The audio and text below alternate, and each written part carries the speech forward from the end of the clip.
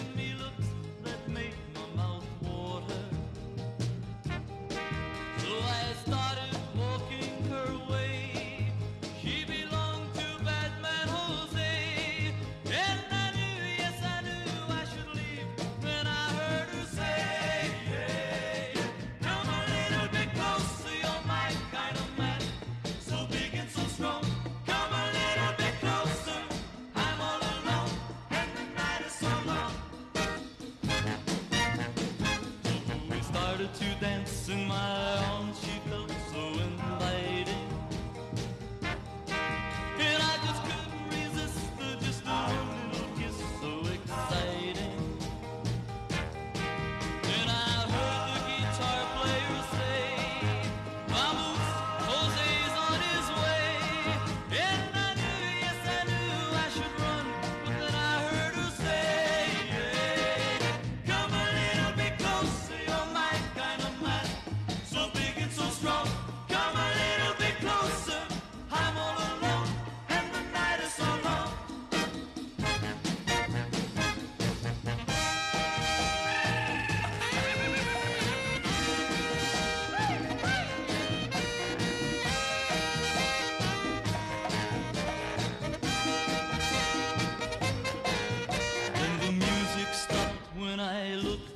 cafe was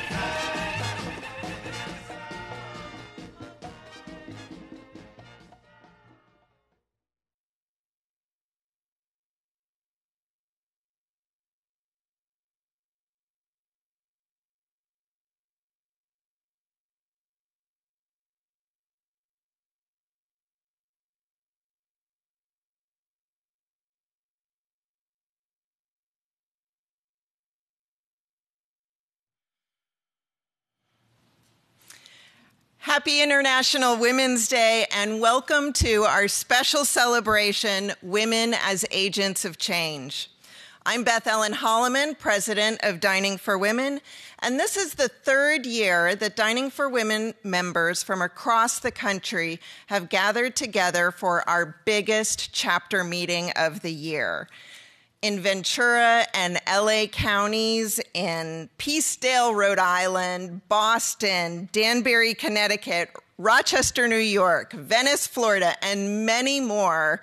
Dining for Women members are gathering in homes and universities and community centers to recognize today as the time to celebrate everything that women have achieved. For those of you who are just being introduced to Dining for Women, we are the largest educational giving circle dedicated to achieving gender equality and transforming the lives of women and girls around the world. Tonight came together rather quickly, but quite beautifully because of the passion of our event partners, who are all committed to change for women and girls. I want to first thank Georgia Public Broadcasting for hosting us in their wonderful studio and making it so easy for us to connect with people virtually all across the country. If you've joined us in the past, you know what a different event this is. And they are making a huge difference. And I also want to welcome the Georgia Public Broadcasting members. I'm also thrilled to welcome two Dining for Women grantees.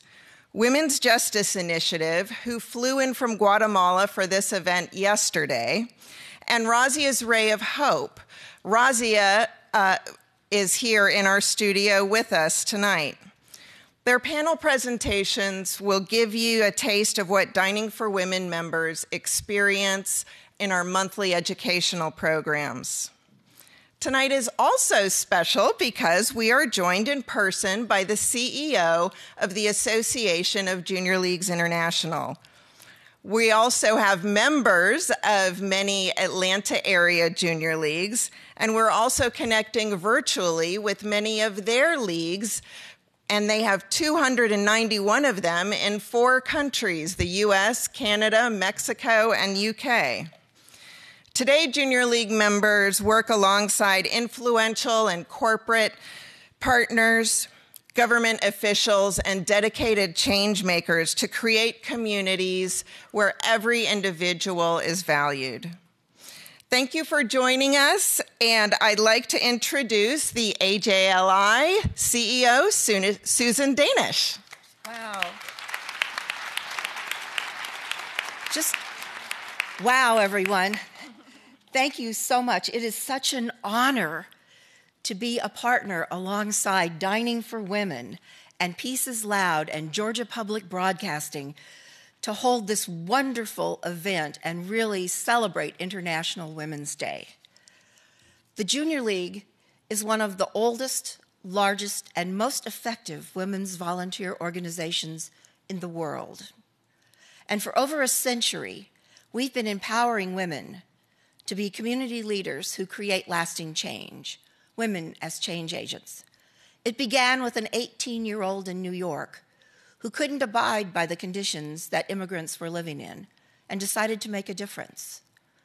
And here we are 118 years later with 140,000 women who are continuing to make change every day. It's so interesting that the first International Women's Day was actually celebrated in 1911. But we know that women have been making change since the beginning of time. And even when women are excluded from the official seats at the table where the official power is happening, women have always found ways to work through the system and find ways around it so that they can actually create change and I love that. So, International Women's Day for me is really a day of celebration, education, and action. And so we celebrate the women who've come before us, all of us today, and the women in the future who are going to make a difference. And we know that women make a difference. There's lots and lots of re- le- research that says, oh, that's good, I stuck my tongue out. Um, there's a lot of research that says that women leadership, women's leadership makes a difference, and it does. It's a day of education. We're going to learn so much from the panelists this evening. And then on March 25th and 26th, we'll learn even more when Women, War, and Peace 2 airs on PBS. And it's a day of action. One of the very first Junior League members was Eleanor Roosevelt. And Eleanor Roosevelt said, The world of the future is in our making. Tomorrow is today. And so it's so special that women are coming together, people are coming together to create new ways to take action and to make change happen. And I hope that all of us after tonight are even more inspired to do what we can to create that more just and caring world. A world of equal justice, of equal opportunity, and of equal dignity. Hooray for International Women's Day. Thank you.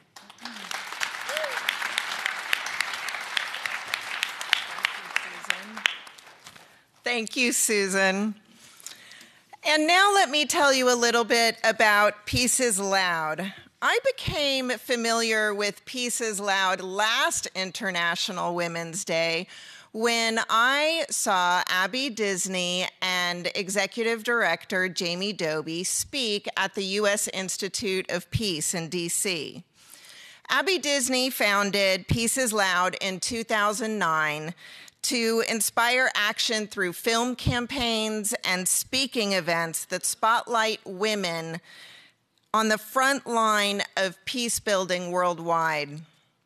Last year, Dining for Women members were also inspired by Abby Disney when she spoke at our national conference. And I knew that Peace, and, Peace is Loud and Dining for Women had something special. And I knew that it was just a matter of finding the right project for us to work on together. So, today, on International Women's Day, I am ecstatic to announce our new partnership with Peace is Loud, which will give 50 Dining for Women chapters the opportunity to hold public educational screenings of the new season of the critically acclaimed series Women, War, and Peace 2.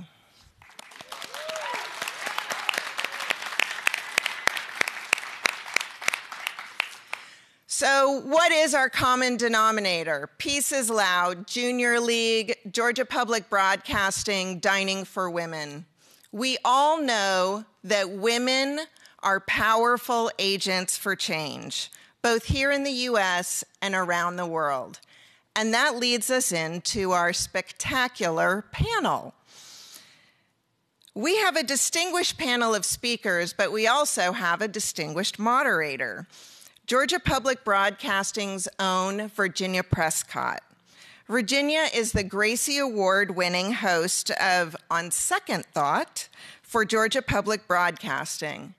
Prior to her work at GPB, she worked in New Hampshire with public radio, and she was also an editor, producer, and director of internet, interactive media for New York Public Radio. Throughout her radio career, Virginia has worked to build sustainable, independent radio in developing countries and has trained journalists in post conflict areas like Sierra Leone and the Balkans. I can't think of a better person to moderate this panel, and I am really grateful that you're here, Virginia. Thank you. Thank you. Thank you. Start my timer. Well, thank you all for being here. Today, when I was looking at Instagram, I saw a sign that said, Empowered Women Empower Women. And we know that that's true. I was happy to see it. But I also want to introduce you to some women here tonight who have gone far beyond at great personal risk in some cases to empower other women. And I think that we're all going to leave here feeling a little more capable of what we can do and possible of what we can do. So, one thing I wanted to mention is that we do have a hashtag for tonight hashtag women war peace pbs if you hear anything that one of the panelists says and you want to tweet it or put it on instagram or social media um, and encourage you to let people know that they can watch this live at gpb.org slash women. There are full bios of all of our panelists th- this evening on the, in the program, but I'm going to just give a quick bio from my left. Abigail Disney, filmmaker, philanthropist, and activist, a long record of creating and supporting storytelling, which asks some profound moral questions, I would say, and promotes systemic change with a focus on women's rights and gender justice.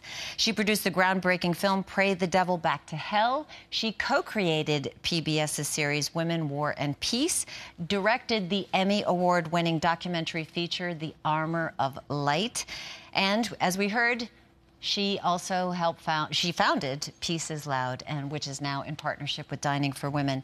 Peace is Loud is also one of our partners for tonight and we are going to be seeing a journey of a thousand miles peacekeepers of which she was the ex- executive producer after our panel. So we have also with us Razia Jan. Thank you. Um, just thrilled to have her here. She's the founder of Razia's Ray of Hope Foundation.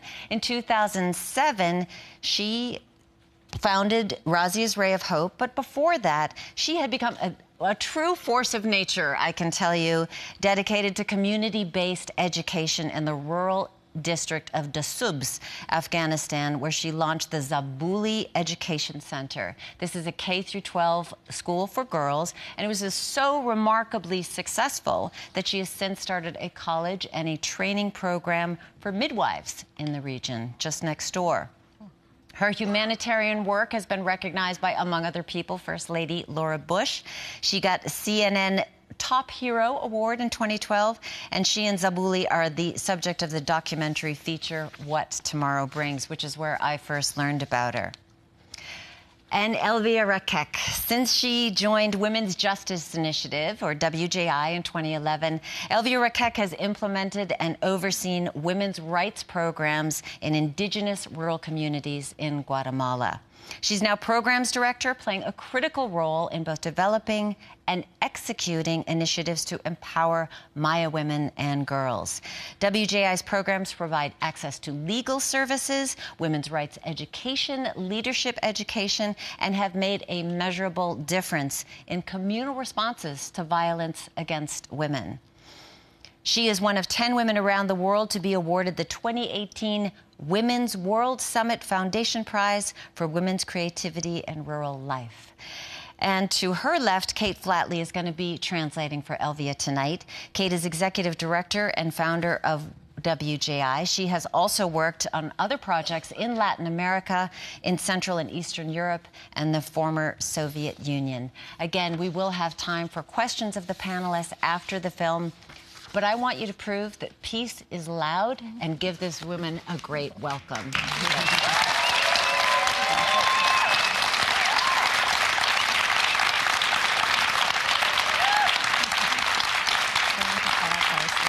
Well, each of these women work to empower others, but I'm interested in finding out about how they became agents of change themselves. And I'm going to start with you, Razia. You left Afghanistan, where you were born in the 1970s. You were in school in the U.S., stayed away during the Soviet invasion and the Taliban, but then came back in January of 2002. What inspired you to start a school for girls at that time? I think it's just that, well, when I was growing up, I had the, all the opportunities as my brothers had. And there was no difference between a boy going to school and a girl. And um, so I, my brother went to MIT, and I was given privilege to go to um, Harvard University. So I think, but I stayed away for 38 years and couldn't go back. And the brutal especially first the, the Soviet invasion, and then after that, um, you know, the, the biggest um, refugees in the world till today was seven and a half million, and they were Afghans. And all kids, like children, really.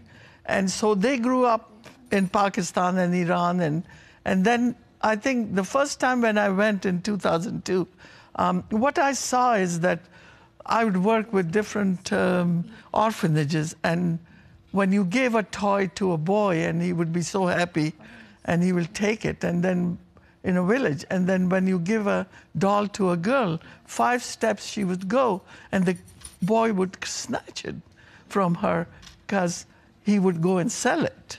And she couldn't say anything. And if she fought him, he would beat her up.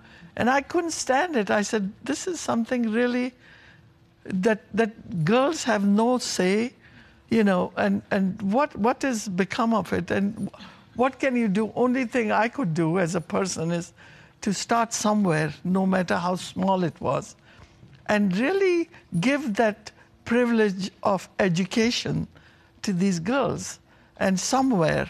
And I found this area that was safe enough for me to really do something because, as you know, that last year only Taliban burned 40 girls' school, you know, and they are always ready to maim girls and cut their noses and uh, cut their ears and how dare you go to school or burn the school or poison them. And so it's just something for me to start very small and in an area that I could trust the men.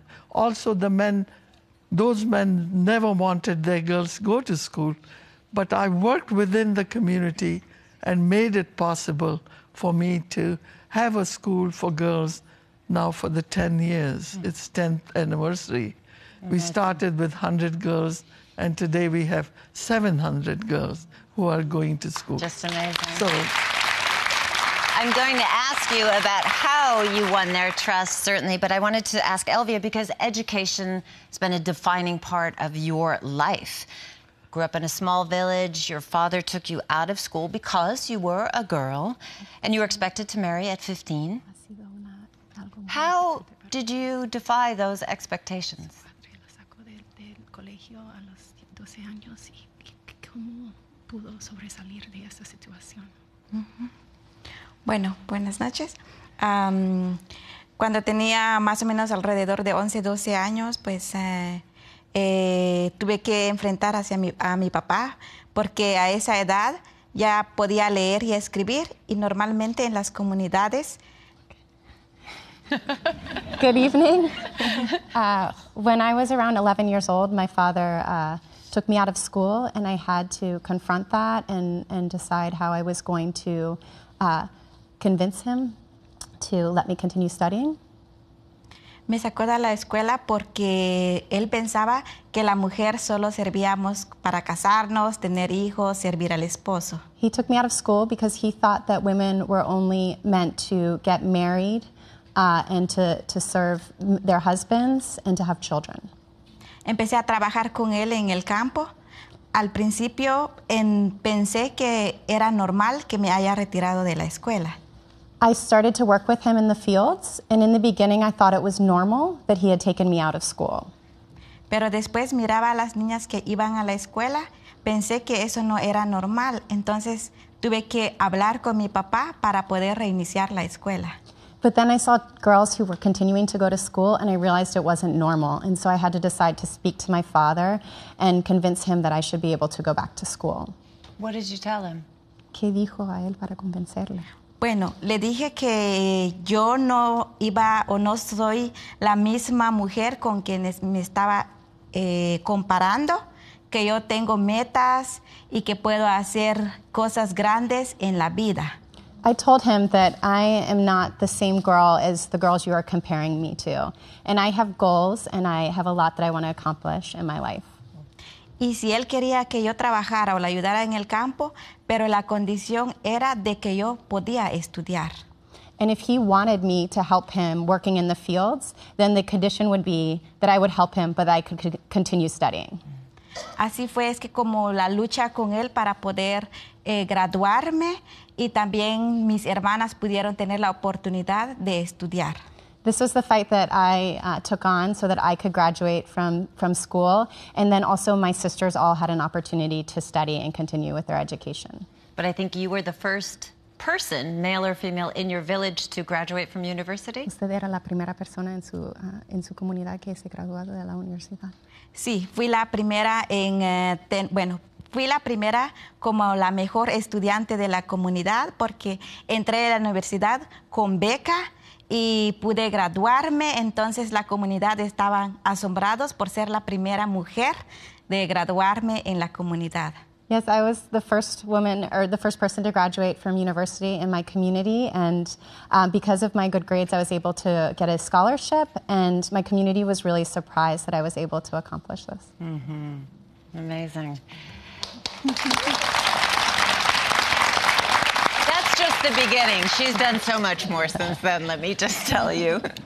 Um, Abigail, I want to ask you you're from North Hollywood. You grew up in a filmmaking family that some people might have heard of. Um, you studied English Lit, I think, master's and PhD in English Lit. So, how did you get involved in activism? Um, well, first of all, I'm kind of humbled here with the company I'm with, and I'm, I'm kind of the image of privilege eh, on this panel. Um, so it, it, it, it's hard to make your way into a world of activism from a position of privilege. I know that sounds counterintuitive, um, but the social pressures and the family pressures to um, keep yourself in line with expectations, keep yourself in line with other people's plans for you, are kind of intense. Um, and so I went off to college uh, as an 18 year old girl with a somewhat um, sheltered upbringing. I had no idea that I was a privileged person. I didn't understand myself that way because when you're a fish, you don't know you're swimming in water, right? Uh, You don't know until you get out of the water that that was water you were swimming in. So, um, college was a, just an extraordinary opening of my, my mind and my world. Um, and I came into contact with people uh, who changed me profoundly. Um, so, so I began to sort of, there was a strand there for me to pick up on about social justice among the people I befriended. And I just kept, I guess, following the strand. Um, and so I went off, I went to graduate school, and while I was in graduate school, I started doing volunteer work with homeless families. And, you know, the strand, you keep following it because, you know, if you have empathy and you work with homeless families and there seems to be an endless stream of them, then you start wondering why there's an endless stream and you follow the strand a little further and ask yourself, well, what's creating these homeless families? And so, so that's kind of how I got into the life of activism. Uh, I just kept following the, the questions as they, as they unfolded in front of me. Um, and um, haven't been able to kind of sit still and let things be in life. Um, and I tripped and fell over filmmaking. I didn't want to be a filmmaker. I yeah, didn't want so to be a that didn't happen until 2008. How did this happen? I didn't want to be a filmmaker because how can you not fail? Yeah. You know, if you're me, right? You know, because everybody's going to say, "Oh, she just made a good film because she had all the advantages." And if I make a bad film, how stupid do I look? so I wanted to avoid it, but um, I found this story in Liberia, and because I've been working with grassroots women in New York City for years. This was a story about women who, at the grassroots, had accomplished this extraordinary thing of literally bringing the civil war in the country to an end as grassroots women um, outside of the political process. Um, and, and by their wits and by their gumption and by their creativity. And every journalist who had come through the country had seen these women and didn't think it was a big deal or didn't think it was important or wasn't interesting enough to talk about. So every journalist just left that lying there. Um, but I had worked with grassroots women, so I knew what women are capable of. I saw what they'd done, and I had met women like Razia in a million places before, and, and so I knew that they are towering sources of power and change. So I decided to pick up that story and hold it up to the world. When I saw the film about Razia, I, after I mm, interviewed the director, and she said, I said, how does she do it? You know, I mean, she's in this village with a council of elders that you have to meet with, about 30, 35 men, all for, former mujahideen for the most Yes. part. And, you know, they all think that girls aren't expected to be educated, they're expected to get married. And I said, How does she do it? And she said, The men push, Razia pushes back harder. so, how did you get them to trust you? I mean, this is a place where they won't, culturally, they don't want to look you in the eye.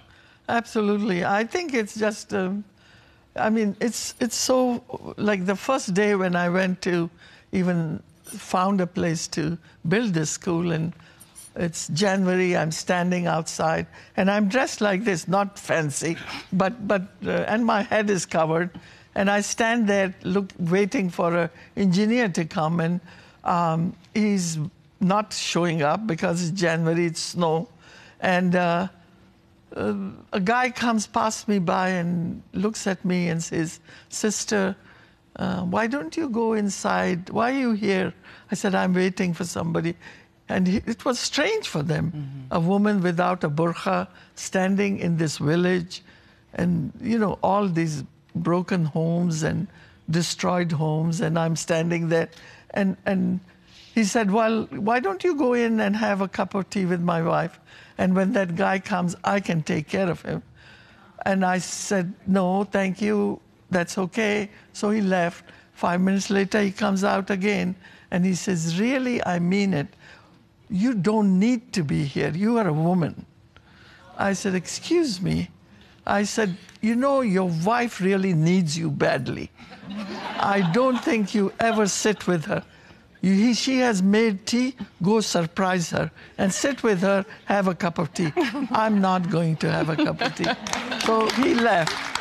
And, and then another thing happened is that the day we were doing the groundbreaking, there were really no women. I'm standing, and there were 35 men standing there, and there was a small bulldozer that we were going to start the groundbreaking and ceremony. And there was a poor lamb standing there to be slaughtered, which I hated, but I had to do because of the community. And uh, so somebody comes running to me and says, Razia Jan, Razia Jan, so and so Malik is saying, if you start this bulldozer, I'm going to come and lie down in front of it.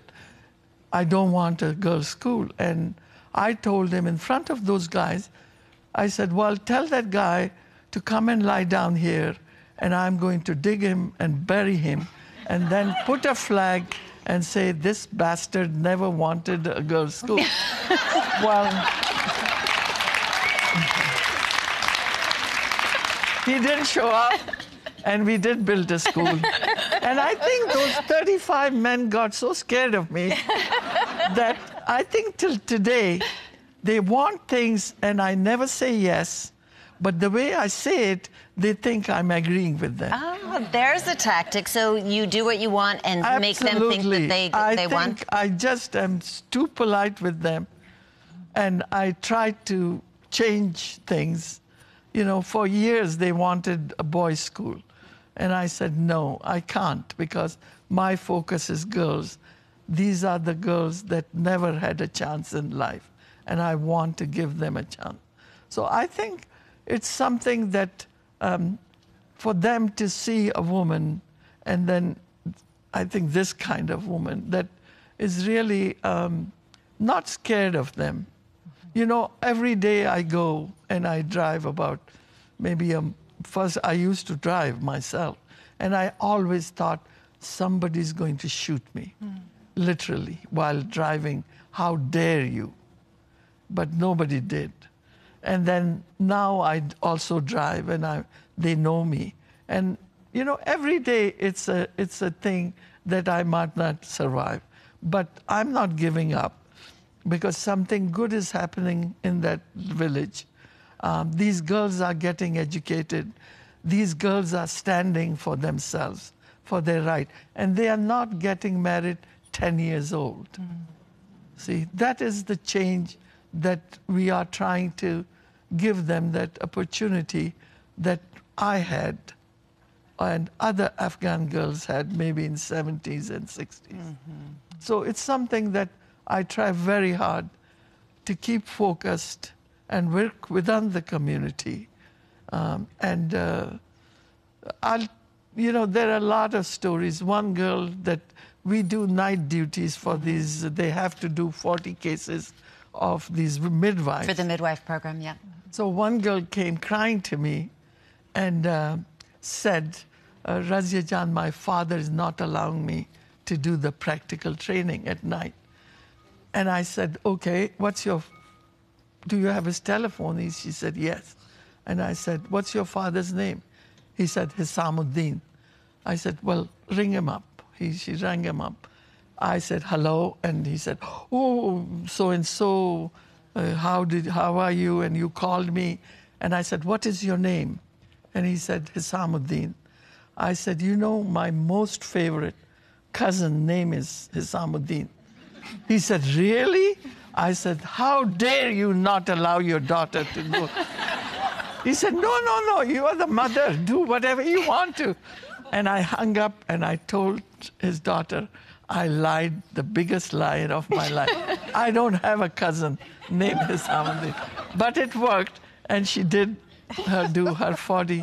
So you have to really work within them. You have to work that they think that they are getting something out of it.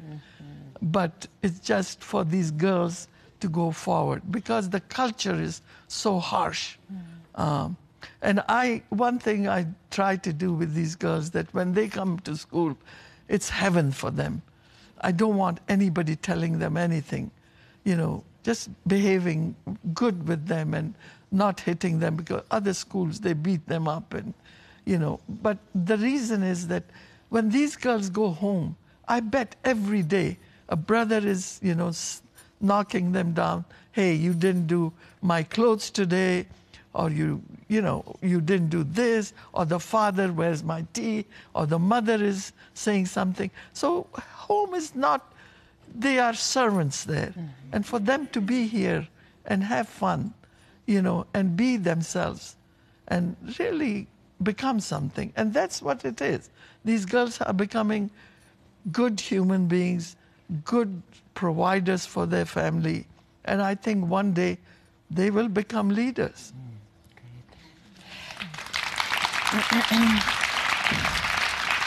So I, this is a something that Elvia you really have to think about as well the cultural sensitivity. You know that you are working in a traditional culture, and this is especially the Maya have been indigenous people have been uh, targeted for violence for centuries, and women.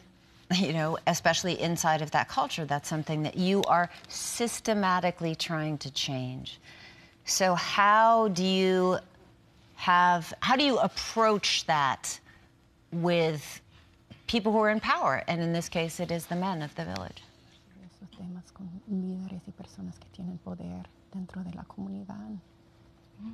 Bueno, como iniciativa de la mujer empezamos a trabajar con las mujeres para poder educarles sobre sus derechos y así ellas pueden ejercer. Al principio es difícil. So, as the Women's Justice Initiative, uh, we begin our work uh, by educating women on their rights so that they can begin to exercise their rights. Es difícil porque los líderes comunitarios, los esposos, los hombres son machistas, entonces ellos no quieren que abordemos temas sobre derechos y empoderar a las mujeres. It's difficult in the beginning because the community leaders are men and the men in the community are machista, and uh, you know it's difficult because they don't want us to educate women about their rights and their legal protections. Entonces, cuando las mujeres empiezan a conocer y a ejercer sus derechos, pues ellas ven que la violencia no es normal. Entonces, ellas tratan la manera también de hablar con los esposos y de hacerles ver de que eso no está bien. So, when women start to go through our program, they begin to realize that violence against women isn't normal or acceptable. And through that, they begin to have conversations about, um, about violence in their family and how they can begin to change uh, the dynamics in their families. Por ejemplo, yo crecí en una familia en donde mi papá es machista y también es violento, pero al principio yo lo veía que eso es normal y que también la mujer es como su deber de hacer lo que pide el esposo. So, for example, I grew up in a family that was violent, and my father was machista and uh, violent. And so, in the beginning, I thought that this was normal, and it was the duty of my mother as, as his wife to, to accept this violence. Cuando empezamos a trabajar en mi comunidad, yo estaba muy feliz porque mis hermanas y mi mamá iban a aprender sobre los temas. Y de esa manera mi mamá puede cambiar la mentalidad de mi papá. And so when we started working in, in my community, I was really excited because my sisters and my mother attended the trainings and started to learn about this stuff. And through that, my mom began to talk to my father about these issues, and they were able to start to change um, his mentality within, within the family. Is, is there, did women previously report or talk about violence inside of the home? Antes, normalmente las mujeres realizaron denuncias ah, sobre violencia en- dentro de la familia. Bueno, antes no, una mujer si recibía violencia no lo denunciaba, porque la mamá, la suegra, la presión de la comunidad, ser mujer es aguantar la violencia y aparte de eso no se entendía también si la mujer estaba recibiendo violencia. So, uh, in the past, women did not report violence because uh, of social pressure. Her mother, her mother in law, and family and the community really didn't view that as acceptable to report violence. And often women didn't recognize what, that what they were living was actually uh, violence against women. Las mujeres cuando aprenden sobre sus derechos, ellas empiezan a denunciar porque saben de que tienen derecho y ya no permitir a que reciban más violencia. Through our programs on women's rights and providing legal services to women, uh, women begin to report the violence and they begin to say this is not acceptable and file complaints. This has been a huge jump. You had some data, I think I got from you, Kate, about how much this has changed inside of those communities. Can you do you have any numbers on that? Yes, so through, uh, through WJI, uh, our work, women, the rates of reporting has tripled in the communities where we're working. So really it makes a big difference of changing those minds one by one. And Abby, this is something that I think is so interesting about your work. I mean, there are so many terrific documentary films, you know, um, activism and media campaigns. You know, they give us the facts and the figures, and they they try they incite you to change, but. Uh, many of them, I think, target audiences who are probably poised to agree with them. And I'm wondering how it has evolved for you, this thinking about changing minds. Right, right, right. Well, you know, information uh, is lovely, um, but it never changed anybody, ever. I mean, and, and you see it every day when you argue with people in your family and you say, but 40% of this is that, and your you know, family member will reject it. it it's, we watched it again and again um, through the last few years in our political lives. Um, I, when I made Pray the Devil Back to Hell in 2008, I watched rooms full of people change.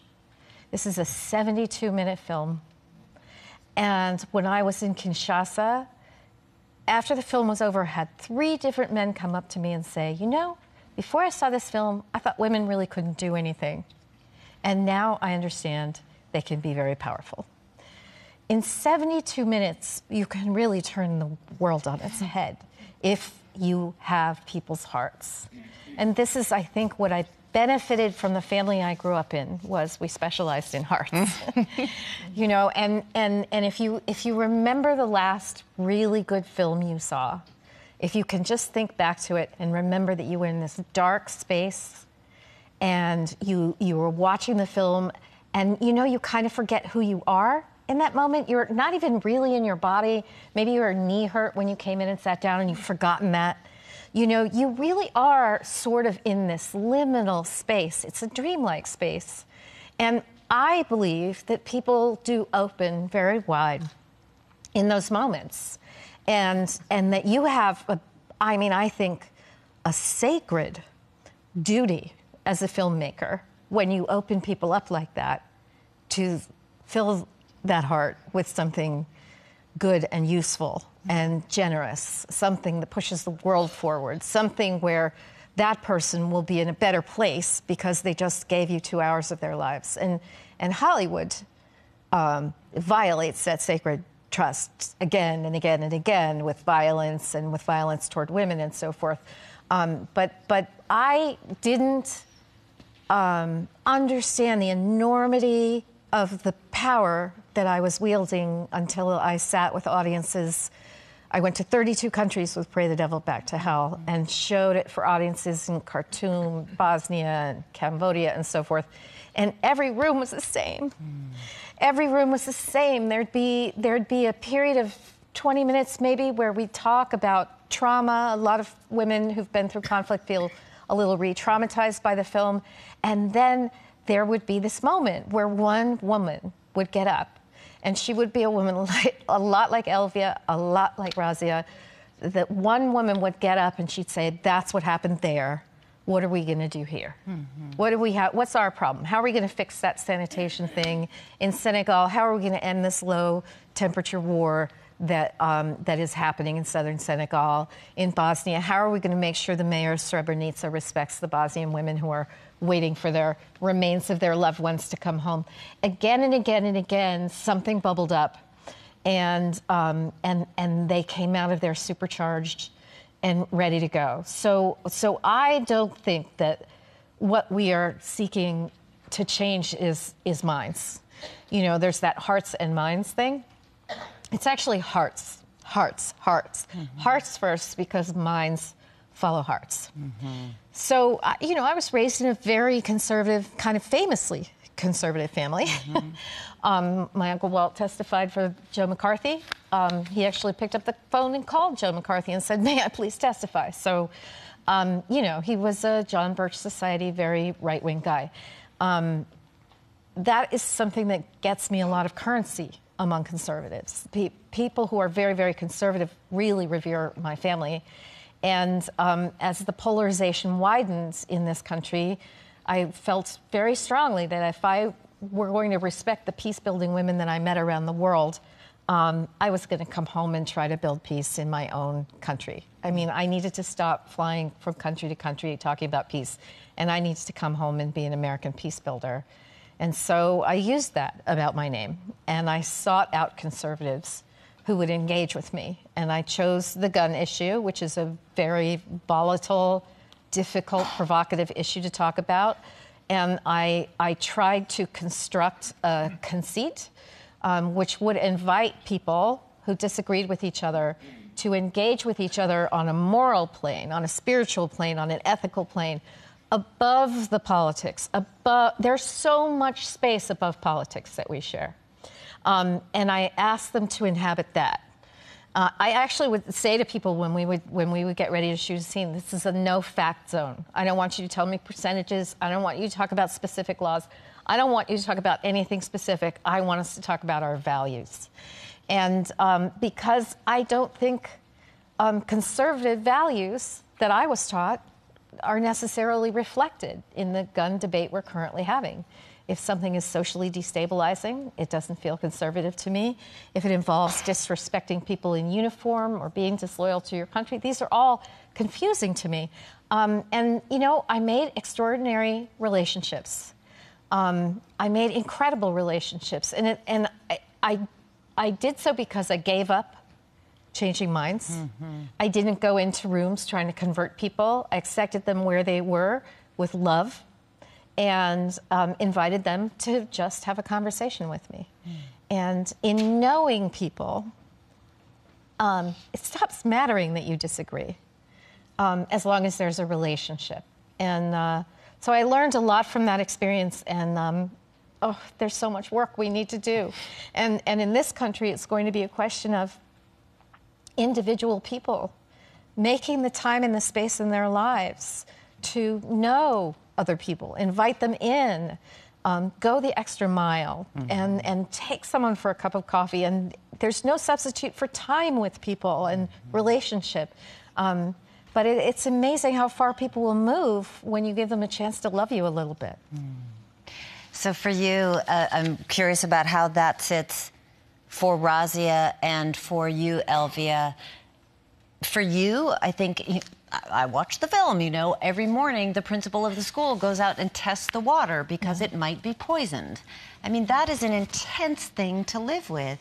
And what I was just hearing from Abby is the idea of if you lead with your heart, if you if you come to the table without being convinced that your position is right or correct, but you do have a mission that you know is Sure, correct. sure. So how do you navigate that? And I'm wondering, especially for women, you know, a lot of the mothers of these girls have also been bound in these traditional values. How do they, what are the challenges for them to get out of their thinking or to change their thinking, to follow their heart? I think it's just something that um, the young daughters are, I think, giving them that, that strength um, that they can stand for themselves. Um, and I think, and they are talking to their mother, a mother who couldn't, um, you know, add two and two, and now they are, because they are teaching their mother. Um, they are teaching them at home um, to to really when they go to a clinic or or a hospital, so they know which one is woman's place or which one because they couldn't, they didn't know, and and I think it's just and they are also teaching their siblings. They are trying their brothers, like so they don't fall behind, and they are doing their homework and they are sitting and studying with them. So the boys are also doing well. And it's amazing that now the young brothers are bringing their little sisters to be admitted, you know, and, and vouch for them that these girls are smart and she knows so much and um, please take her. And so uh, it's, it's amazing the change uh, of, of these men um, thinking about, you know, their daughters and granddaughters. And um, I think the change has to come. You know, human beings are um, amazing, and you just you have to work within the system, whatever their mind or whatever they think. If you can work within that system and and show that what we are doing it's not going to harm them, uh, but it's going to benefit them, and and I think that is the change that we are trying to do, and uh, and I think most of the men are with us, most of the brothers and and and fathers and grandfathers and you know so it is something uh, um, we have amazing 300 girls little girls that are on waiting list for kindergarten. And and uh, just before i came uh, this time a month ago an old man came that has taught 40 years in a school he's retired and very well known in the community. And he was came with to the office. I was sitting and he had a little piece of paper in his hand. And he sat and and I said, I'm so sorry, before he said anything, we don't have any room for your granddaughter, or if you have brought somebody's name for this year. We already have 60 girls in kindergarten. And he said, No, no, no, no. I have two granddaughters who are smarter than my sons, both sons. They know so much. But they are two years old. And I want you to put their name on the waiting list for 2021. So when they are five years old, they have a chance to come to your school because I might not be here and they might not have a chance. I wrote their name, put them on the list, and we started year 2021 with them. So it is something that, you know, you see these things that they want their girls to get educated and they want. Uh, I don't think so. Anybody in the world, I, and I think in as if there are men, I think you love your daughters more than your sons. I know that because it's in your heart. You want the best for them and you want to protect them. And I think this is human nature. And this is what those men were. They were so scared. They are scared. You know, it's not their fault. But we've made it possible for them to trust us and leave these girls to come and, and come and be in the school and go forward and, you know, do things that otherwise they wouldn't be possible. So it is a trust and we try to help them and, and it's working. I mean, it's just, um, we are lucky that, um, you know, I just, um, I, I can't even tell you how sometimes I, I just think of when I see these girls now, I'll go in March, and these girls come in this little area we have, and with their green scarves, and there's like so many of them standing outside to get in. It's like I really, my heart start to stop. Like, how can I handle these 700 girls? You know, and and it, it's just it's beyond belief. So th- this is, I mean, this is why the men. I'm so glad you're here. This is why you need to celebrate International Women's Day with us, because you have so much to gain from this. Yeah. And and and I've seen lives changed and hearts changed completely. I have taken Pray the Devil Back to Hell, which is predominantly about women in Liberia, to boys' schools to show it to all boy audiences. And they all ask the same question. They say, Why are there no good men in this film? Hmm. And I always say, Well, mm, actually, let's go back over it. Let's look at that. There's the men who are taking care of the injured and burying the dead and hmm. carrying their grandmothers out of villages. There are plenty of good men. The question is, why did you not see them? Hmm. Why did they not rise to your attention? Because the guys with the guns tend to rise to our attention. And I believe, as you said, most of the men are with you. It's the it's there's a certain kind of man who rises into leadership because he can trade on aggression, because he can be the louder guy. But I know my sons and my husband are not those men. And the vast majority of men that I know are not those men. And if women can move into the spaces where power is done, and if they can manage to shift this emphasis on aggression, on power, on trading on violence, on trading on threats, if they can shift that even a little bit, what do they free up in the men around them? Because men are harder on each other about gender than they ever are on women.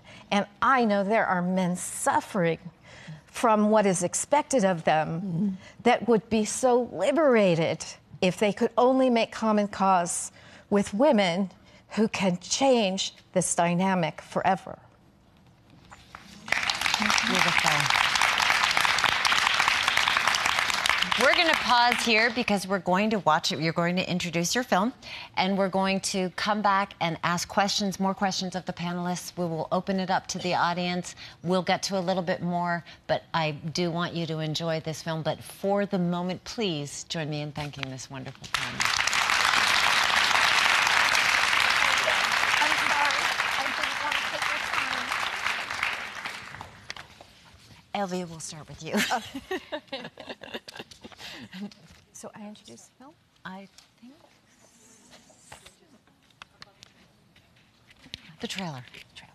Sorry, we're playing the trailer. I am sitting there just in awe of you. And I just want to sit down and just listen to you all night. And I thank you. That was just incredible. Thank you so much. Um, on behalf of Dining for Women and our event partners, Peace is Loud, Georgia Public Broadcasting, and the Association of Junior Leagues International, I want to thank all of you for traveling here tonight so far. You've all come from so far. And I want to thank uh, Razia Jan, Elvia Raquec, and her translator and executive director, Kate Flatley, Abby Disney, and Virginia Prescott. Thank you for inspiring all of us. I I am truly in awe of your stories, and I'm so thankful that you shared them here tonight. We want these messages to go beyond tonight, so I hope that all of you will share this recording with your friends and family and the men and boys in your life. And I also encourage you to turn, tune in to PBS on March 25th and 26th for Women, War, and Peace 2 and see how some of the biggest stories of recent memory have been shaped by women. And now we're going to watch a trailer about these wonderful films. Um, and so here's the trailer for Women, War, and Peace 2.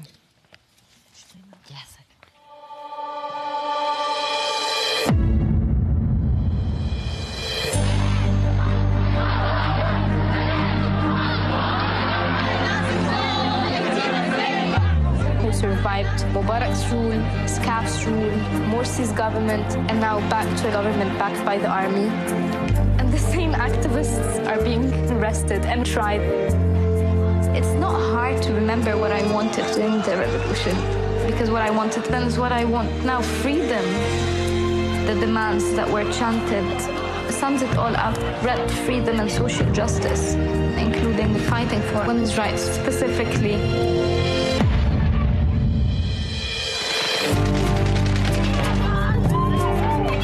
The British and Irish governments have announced a firm date for the start of all party negotiations on the Northern Ireland peace process. We've got to do all of the things that we've been doing in our own lives as activists, but now we have to do them on the general political platform. I'd never been in a political party before in my life. Uh, it wasn't politics, it was peace that I wanted We had to prove that it wasn't about sitting around a table and just talking about women's issues. It was about basic human rights issues for the whole of Northern Ireland.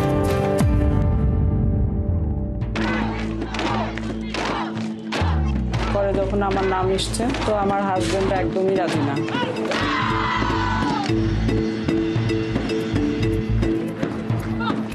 আসলে শান্তি রক্ষা কথাটা তো ব্যাপক আমরা উম, বাঙালি নারী হিসেবে যে বাংলাদেশের দৃষ্টিভঙ্গি পরিবর্তন করতে পেরেছি যে আমরা নারীরাও সেবামূলক কাজ করতে পারি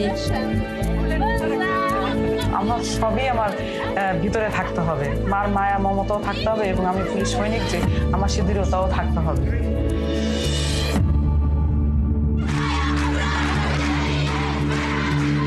أكثر فترة حسيت حالي فيها حرة بداية الانتفاضة هذا الإطار النسوي كان هو للعلن عمل اجتماعي اللي هو الروضات المشاغل الخياطة تعليم النساء التاريخ. هذا كان اللي للعلن. بس هو في الحقيقة في الباطن هو كان تنظيم بحث النضال النسوي جنبا إلى جنب النضال الوطني الحرية هي حرية واحدة.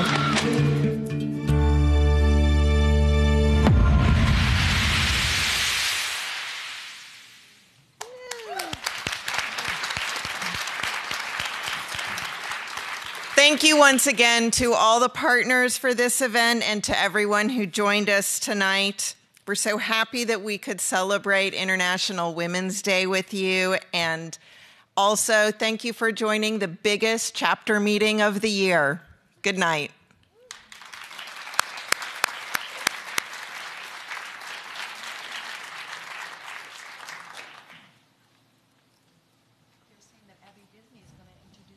Okay, then I will. So I think we're not streaming anymore. Um, so we can go ahead and swear and curse and do everything else we want to do. Um, so we're about to watch a, a film called Peacekeepers: uh, Journey of a Thousand Miles, and you saw it referred to here in this trailer.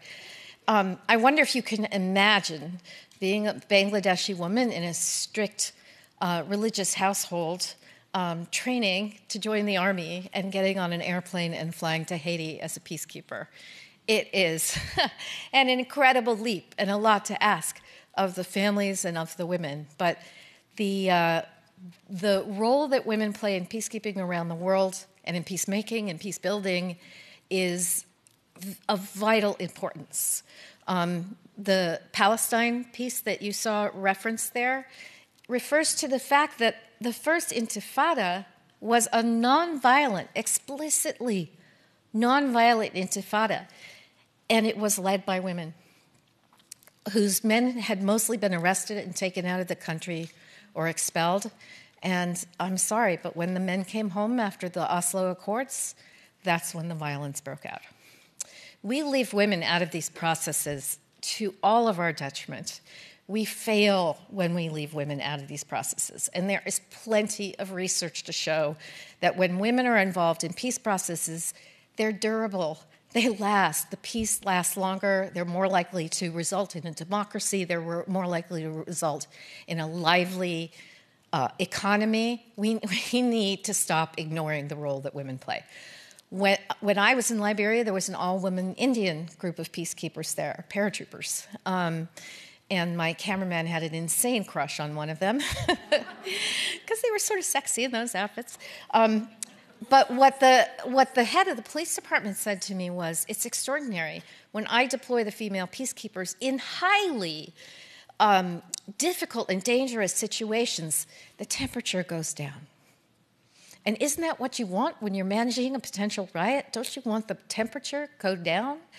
That is some ineffable thing um, that uh, nobody really understands yet and nobody can quite explain. But my goodness, why would we not tap into that given the troubles we have around the world? So I hope you enjoy this film. It's a little bit of an intimate look into people's lives and their reactions to this kind of crazy alien situation. Um, I love it a lot. The, one of the producers is a two time Academy Award winner, Sharmeen Obaid. And um, I, I love this film so much. Please enjoy. And I'll be here for a Q&A after if you want.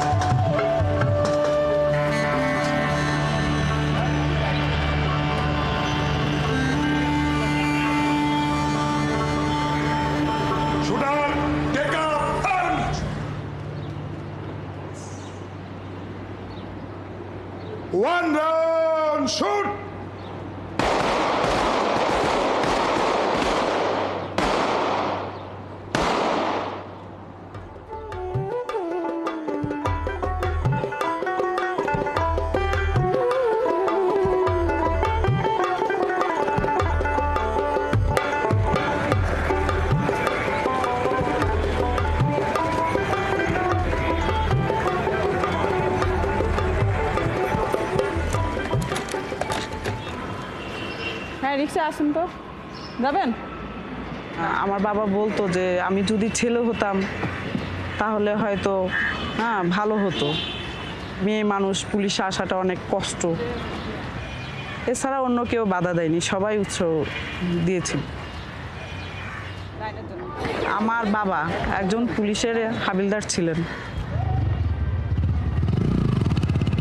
আমি চাকরিতে আসার তিন চার বছরের মধ্যে আমার বাবা duty করতে গিয়ে ডাকাতদের সাথে গোলাগুলিতে মারা গেছেন।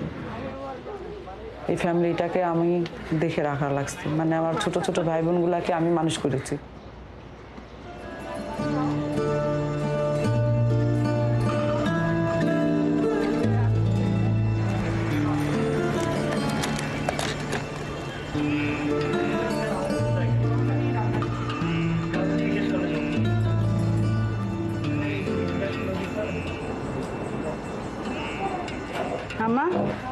আসুন বাপ খেতে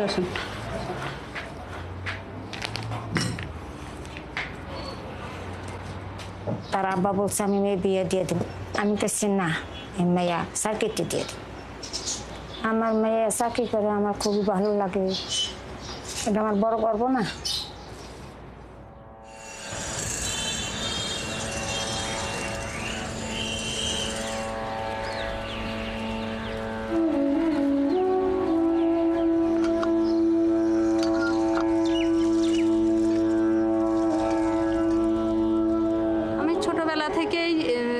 পারিবারিক নির্যাতন দেখেছি, এমনকি আমার মাও নির্যাতিত হতে মানে বাদ পড়েনি। সেও যেহেতু পিতৃতান্ত্রিক পরিবার ছিল আমাদের, আমার দাদা, দাদি যা বলতো ওটাই আর কি প্রযোজ্য ছিল। এই ছোটবেলা থেকে এরকম দেখতে দেখতে মনে হতো যে আসলে কি করলে মেয়েদেরকে এই অবস্থা থেকে বের করতে পারব। তো একসময় যখন আমি বড় হলাম, তখন আমি এই পুলিশ সম্পর্কে জানতাম। তখন থেকে আমার মনে হলো যে আসলে যদি আমিও পুলিশে চাকরি করতে পারতাম, তাহলে হয়তো এই সমাজের আর নারীরা যাতে নির্যাতন না হতে পারে।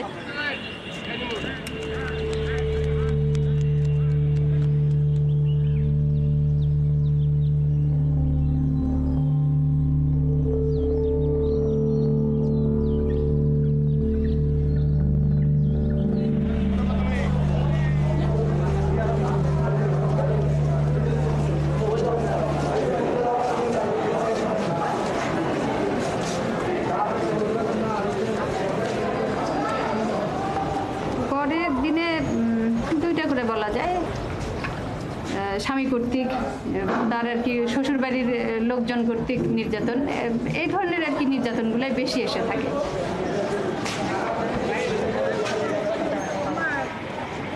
সমস্ত শরীরে পোড়া এইভাবে পারো, উঠাতে পারো? সমস্যা হচ্ছে না না? আগে তো কষ্ট পারতে না। ও, খুব সিরিয়াস অবস্থা। এখন আগের চেয়ে একটু ভালো লাগছে? ও কানের সমস্যা হচ্ছে না? আচ্ছা তুমি সুস্থ হয়ে যাও সুস্থ হইলে আমরা তোমার আর কি অপরাধীরা যাতে উপযুক্ত শাস্তি পায় আমরা সেই ব্যবস্থাই করব ইনশাল্লাহ। এটা আমার আর কি মানবতায় খুব বাধাপ্রাপ্ত হই যে আমরা বাবার বাড়ি ছেড়ে যাই আর কি শ্বশুরের বাড়ি স্বামীর বাড়ি সেই স্বামী শ্বশুর বাড়ির লোকজন যদি আমাদের জন্য একটা মানে বিপজ্জনক একটা ভূমিকা রাখে, তাহলে আমাদের তো কোথাও নিরাপত্তা থাকে না। এই জন্য আর কি বেশ দুঃখ অনুভব হয় যে আমাদের সমাজ ব্যবস্থাকে আরও উন্নত করতে পারিনি। চেষ্টা করছি আর কি যাতে মেয়েরা নির্যাতিত না হয়।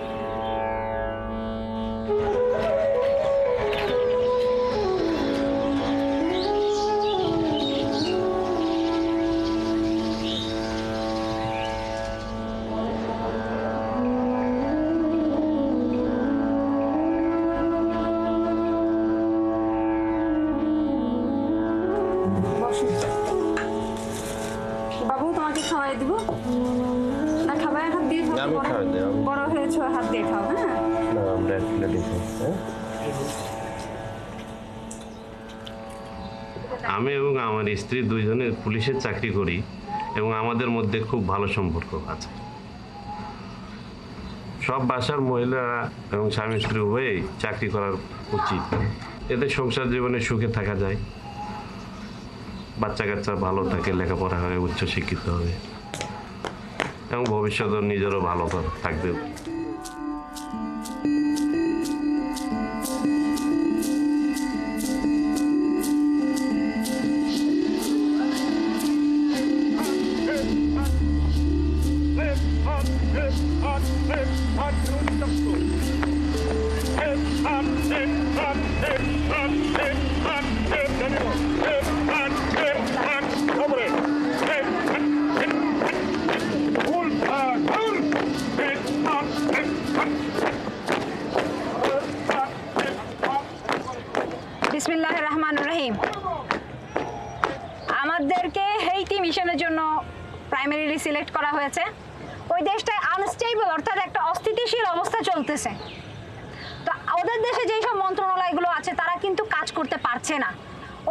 নিজস্ব পুলিশ বাহিনী আছে।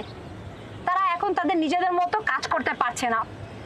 আমাদের কাজ হচ্ছে ওদেরকে গিয়ে ওদের এই অবস্থা থেকে উতরানো এবং ওদেরকে একটা স্থিতিশীল অবস্থায় নিয়ে আসা। আমি কি বোঝাতে পেরেছি? থ্যাংক ইউ ধন্যবাদ সবাইকে। তুমি হেলমেট লাগানো কেন? এই হেলমেট লাগাও। সেখান দাঁড়াও। হাই ফ্রন্ট আমরা এই যে ক্রাউডের মধ্যে, এই দল মানে দলের মধ্যে আছি, এই দল চুত হয়ে, দল ছুটো হয়ে কোথাও যাওয়া যাবে না। Okay ready to go go Go.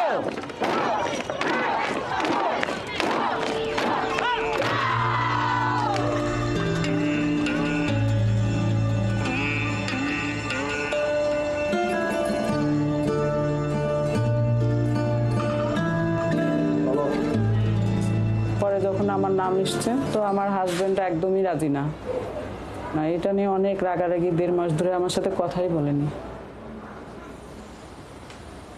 কালো সাদা না। চা নিয়ে এসছি। চা খাও। বসি আমি। নাও চা নাও। আমার কি? আমার কালোগুলো না? ও আচ্ছা। একটা মারো ধুম করে দেবো। ছেলে ফিল করব না তোমার জন্য? হ্যাঁ? করবে কিন্তু এখন আমি চাকরি করি না আমার তো যাওয়া লাগবে। আমি গেলে তো তোমার জন্য সুবিধা। তুমি এক বছর ফ্রি থাকবা তারপরে তোমার ইচ্ছা মতো তোমার যা মন চায় তা করবা। আমি ওরা আমি আবদ্ধ হয়ে গেলাম সময় দিয়ে বাচ্চা কাচ্চাদেরকে আব্বু! এক বছর দেখো সময় দিয়ে একটা কেমন পরিবারের অভিভাবক কিন্তু একজন স্ত্রী। এর মধ্যে আবার বাইরে যাওয়াটা হঠাৎ করে যখন শুনলাম আসলে আমি মন থেকে অত্যন্ত কষ্ট পেয়েছি হয়তো সে এক বছরে যে টাকাটা কামাই করবে আমি এক মাসে সে টাকা কামাই করব। তা আমি মনে করতেছি যে আর কিছুদিন আমি টোটাল সেটেল হয়ে তাকে চাকরি থেকে অব্যাহতি দেবো। কিন্তু আমি তো দেশেই চাকরি করি যে এখন আমার বিদেশে যাচ্ছে আমার চাকরির খাতে ঠিক না? ইচ্ছা করে না। এখন খেলো কালো গুলো খেলো জন্যই আমি বিশেষ করে যাওয়ার ইচ্ছা আমার। কারণ বড় ছেলেটার আব্বু তো নেই। কত কষ্ট করে চার বছর পরে আমার ছেলের বিয়ে করেছে। কিন্তু মিশনে গেলে যে একসাথে অনেকগুলা টাকা পাবো এটা মনে করেই আমি আমার বিশেষ করে আমার বড় ছেলেটার কারণে আমি তার ভবিষ্যৎটার জন্যই আমি যেতে যাচ্ছি। এখন আম্মু।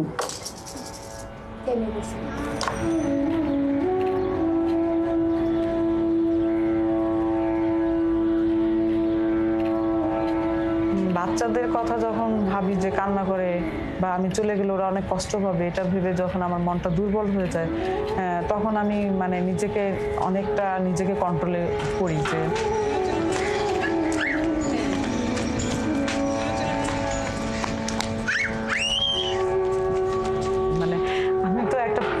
পুলিশ আমি মা না শুধু আমার সবই আমার ভিতরে থাকতে হবে। মার মায়া মমতাও থাকতে হবে এবং আমি পুলিশ সৈনিক যে আমার সে দৃঢ়তাও থাকতে হবে। সেটা আমি ভেবে আমি আবার হার্ড হয়ে যাই।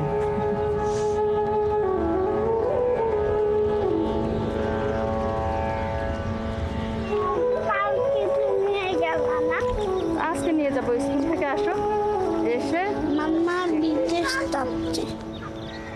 আমার যখন আর একটা প্লেন উঠবে, তখন আমি আমি আর একটা প্লেন আমি আম্মুর সাথে উড়িয়ে যাব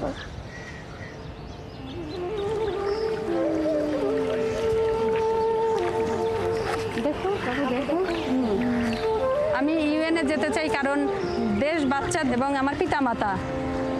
সবটাকে আমি সমানভাবেই দেখছি। আবার পুনরায় এক বছর পরে এসে আমি আমার স্বামী সংসার স্বামী ফিরে পাবো। হয়তো এই সুযোগটা গেলে নাও ফিরে পেতে পারি।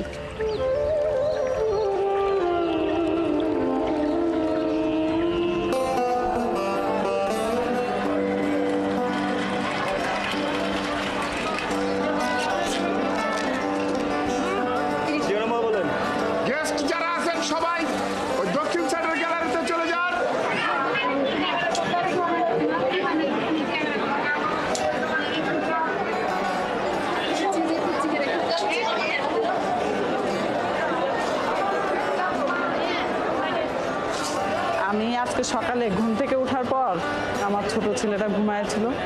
তাকে যখন আমি চুমো দিতে গেলাম, সে হলো সজাগ হয়ে গেলো, আমার গলাটা ধরলো। হাইটিতে গেলে আমার খুব মনে পড়বে। যারা মেহমান আছেন, সবাই ওইদিকে চলে যান। আমাদের লোক সবাই এদিকে চলে আসেন।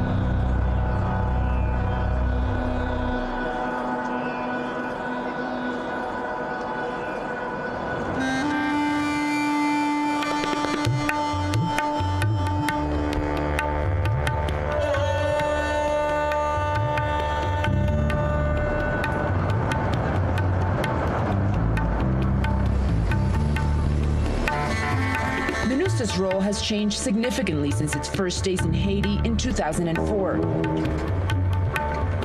Since the earthquake in 2010, it's been at the forefront of recovery efforts. But for many Haitians, the UN has outstayed its welcome. A deadly cholera epidemic in 2010 is believed to have been introduced to the country by UN soldiers. Then, the government says more than 6,000 people have died and some 450,000 others have been sickened by the disease. Attorneys for the victims accuse the UN of reckless failure in containing the outbreak.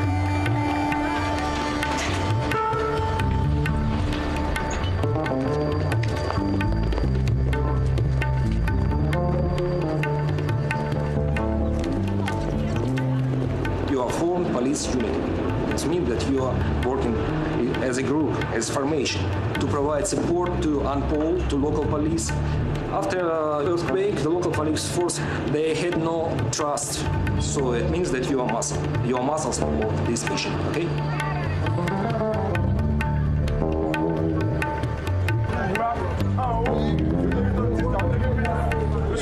nasyonal, nap demare pou rencontrer avec avèk goup manifestasyon devan pake a sou bicentenyan. Manifestasyon sa gen objektif li, prinsipal li, se exije de pa minister nan tet peyi ya, justice, reparasyon pou tout victimes de yo.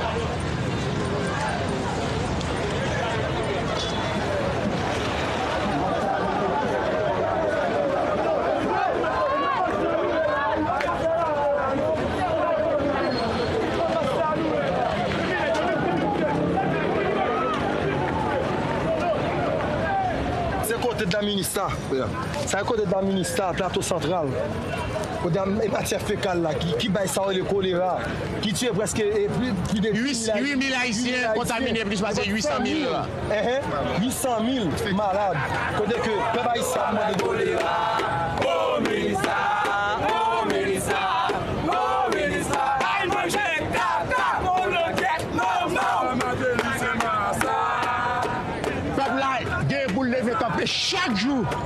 Chaque jour. Peuple là, gagne pour lever jusqu'à ce que les gens quittent le pays.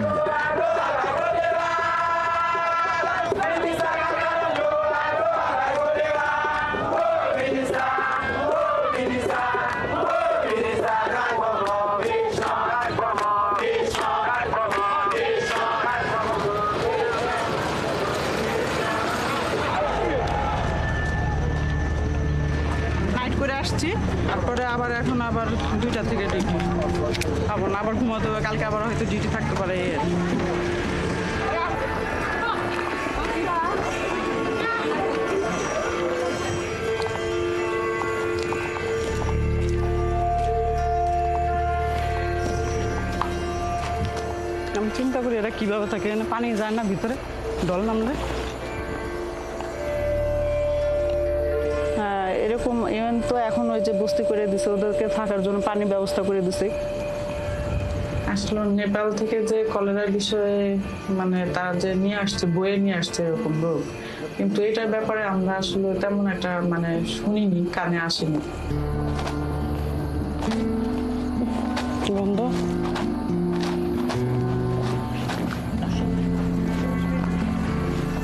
অনুযায়ী চলো line অনুযায়ী চলো individual চলো না কষ্ট হয়ে যেতেছে না Joshua, come. No problem?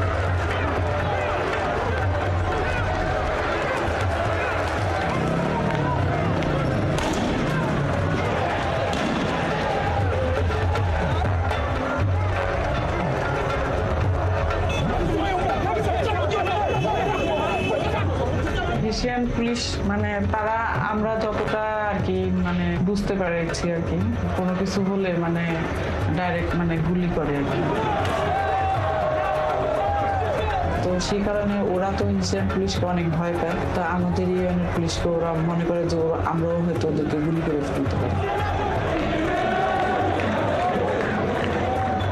আর পরিস্থিতি আর কি উত্তেজিত উত্তপ্ত? এই কারণে আমাদের ডিউটির চাপটা বেশি। যেখানে সর্বোচ্চ নিরাপত্তা বিধান করব তো সেই ক্ষেত্রে যদি লোকে আমাদেরকে দেখে ভয় করে বিপজ্জনক অনেকটাই বিপজ্জনক।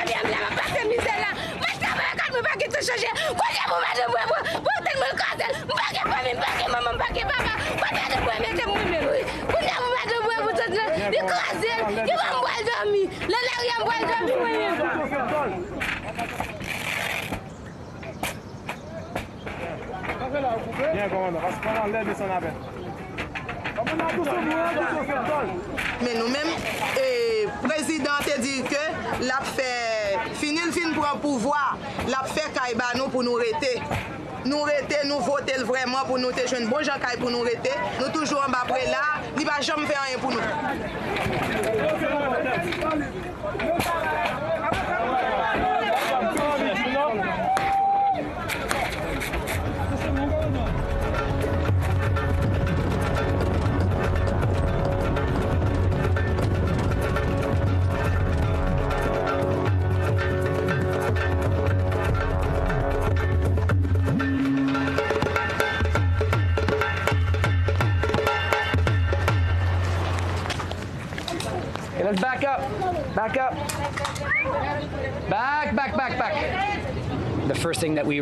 Realized was they lacked some of the fundamentals. Yeah. So we identified this unit that requires some uh, regular maintenance training or, or a foundation buildup. Okay, are we ready?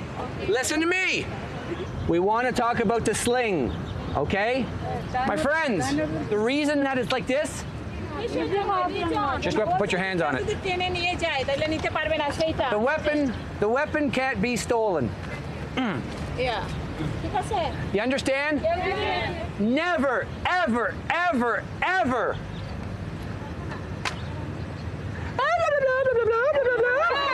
Okay? You understand? Never. This is your weapon. It has a strap for a reason. আমাদের দেশে আমরা যে অস্ত্রের ট্রেনিংটা শিখে এসেছি মানে মূলত আমরা মিশনে আসার উদ্দেশ্যে সেটা ছিল সময় কম। সে সময় কমের ভিতরে যেই যেটুক শিখে গিয়েছে সেটা বেশি একটা মানে ভালো আমরা শিখতে পারিনি আমি এটা মনে করেছি। স্বাভাবিক আমরা এখানে একটা দায়িত্ব নিয়ে এসেছি। তো আমরা আসলে মানুষের তাহলে কি রক্ষা করব? আমরা যদি নিজেদের নিজেদের অস্ত্রই যদি সেফ না রাখতে পারি। Front a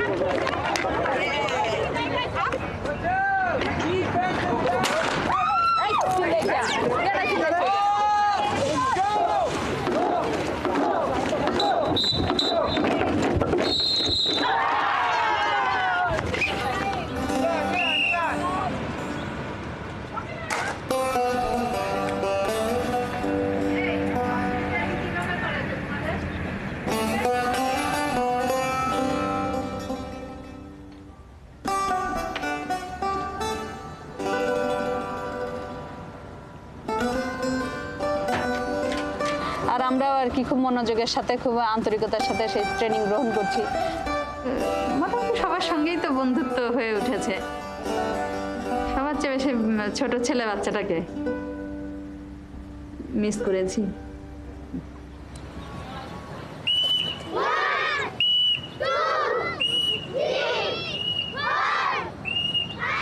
বাচ্চারা এখন আমার বাবার বাসায় অবস্থান করছে।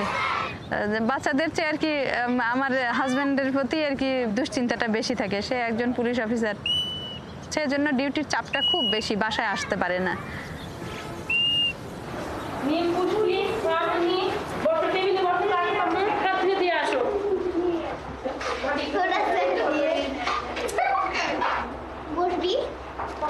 যাওয়ার পর বাসাটা একবার খালি খালি লাগছিল।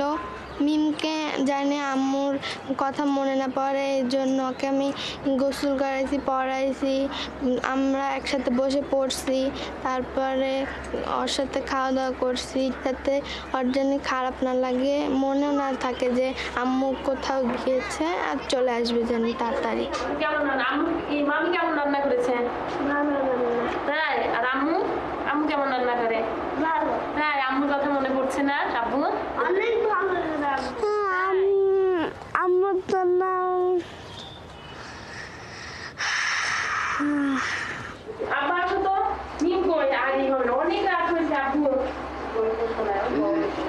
হ্যাঁ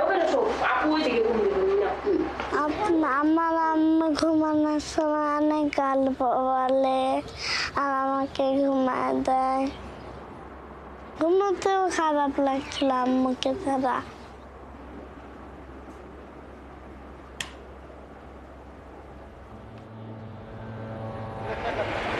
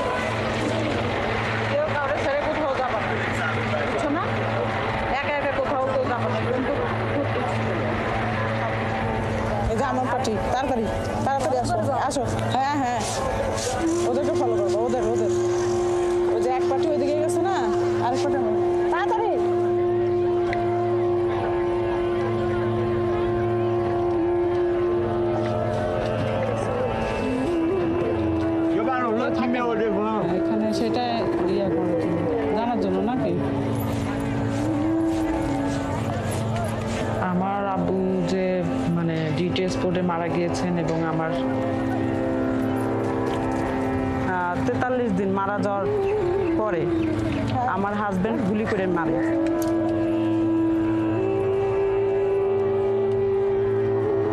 আমার হাজব্যান্ডকে ইয়া করতো কন্ট্রাক্টর ছিল।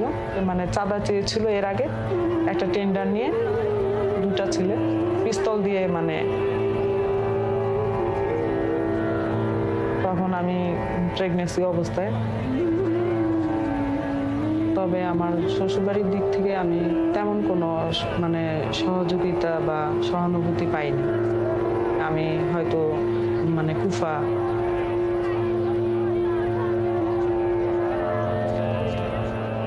তারা কিন্তু আমাকে সাহায্য করেনি। বরং সবসময় আমাকে খোটাই দিয়েছে যে আমি একজন রাক্ষসী এই সেই, অনেক কিছু গ্রাম্য ভাষায় যাকে বলে।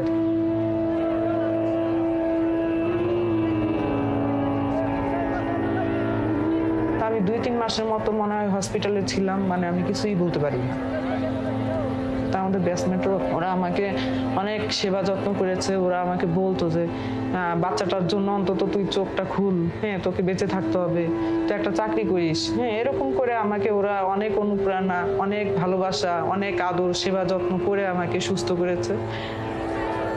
পরবর্তীতে আমি যখন ব্রাউনবাড়িয়াতেই চাকরি করি, সে অবস্থায় কিন্তু আমার দ্বিতীয় হাজবেন্ড তার সাথে আমার দেখা হয়। এখন আমি অনেক ভালো আছি। এখন আমি অনেক সুখে আছি। এটা আল্লাহর কাছে অনেক শুক্রিয়া আদায় করি।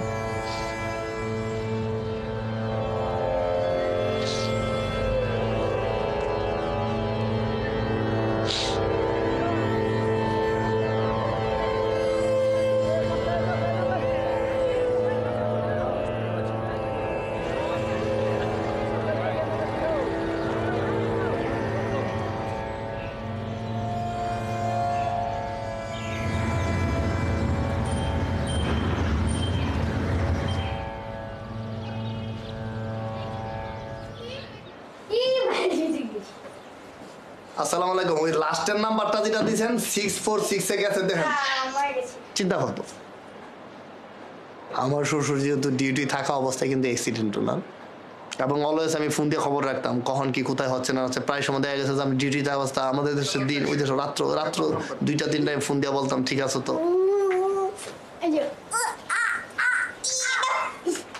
আমার দিক তাকায় না হোক আমার সন্তান দিক তাকায় যাতে আল্লাহর নিকট মনে মনে প্রার্থনা করি আর কি যে সে হারিয়ে গেলে আমি কষ্ট পাবো সিরিয়াস কষ্ট পাবো এটাও সত্য। কিন্তু আমার তো দুইটা সন্তান এতিম হয়ে যাবে। বসো বসো। রিদমটা ওইদিকে বসো আমরা খেয়ে নিই।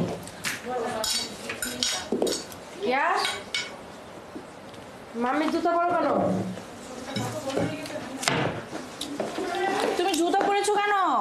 পুলিশ হবা? এটা তোমার মার জুতা। না এটা তোমার মার জুতা রেখে আসো যাও। এটা মার জুতা যাও রেখে আসো। ন। প্রথম তোমার মাকে দেখে তুমি কি করবা? এই তো বাবা কান্না করে উস্তাদ করে কান্না করে দিবি।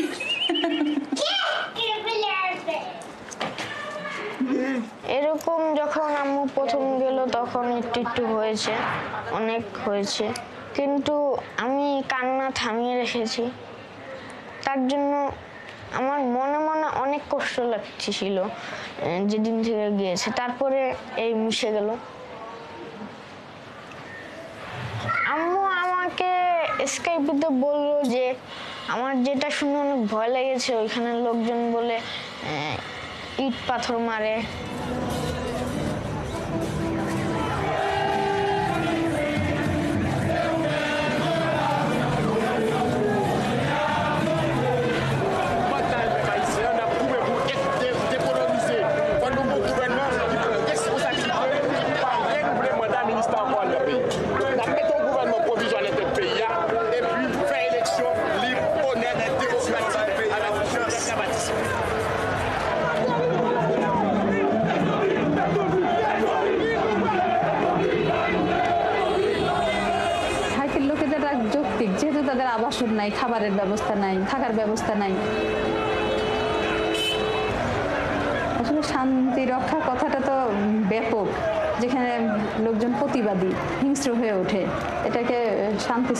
শৃঙ্খলার মাধ্যমে এটা ট্যাকেল দেওয়ার জন্য।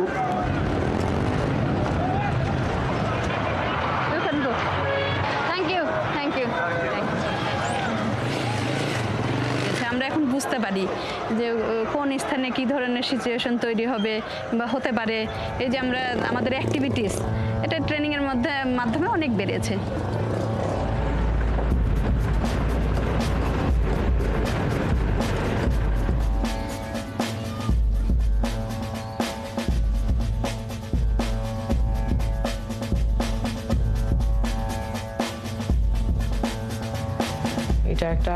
ভিন্ন ধরনের অভিজ্ঞতা, সবাই কিন্তু ভয় পেয়েছি আমরা।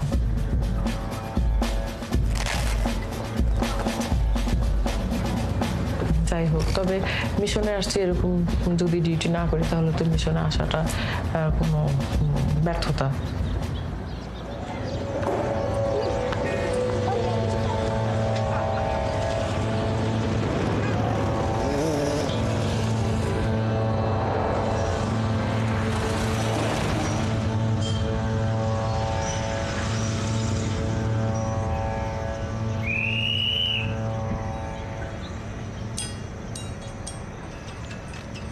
আমরা এই মাসের আমরা আনফল অফিসারদের সঙ্গে বাইরে গেলাম। বেলমাট বস্তি বলে একটা বস্তি আছে, সেখানে যেতে হবে।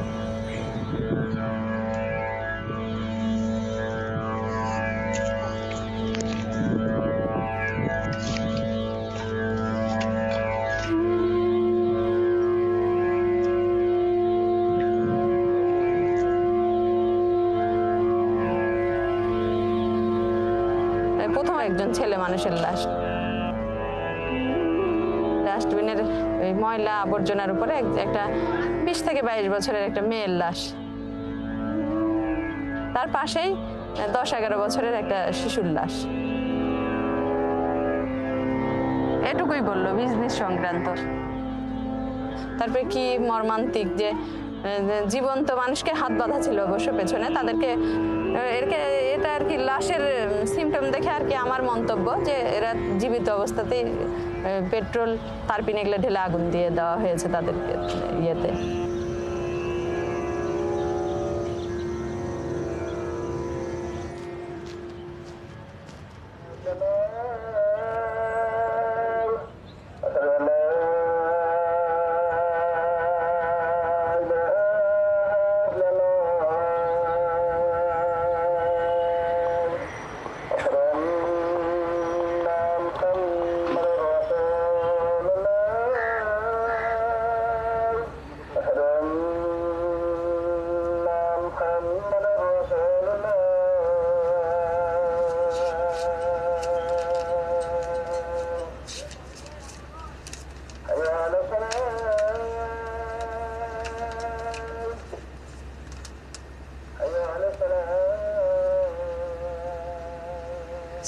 আম্মু আশা করি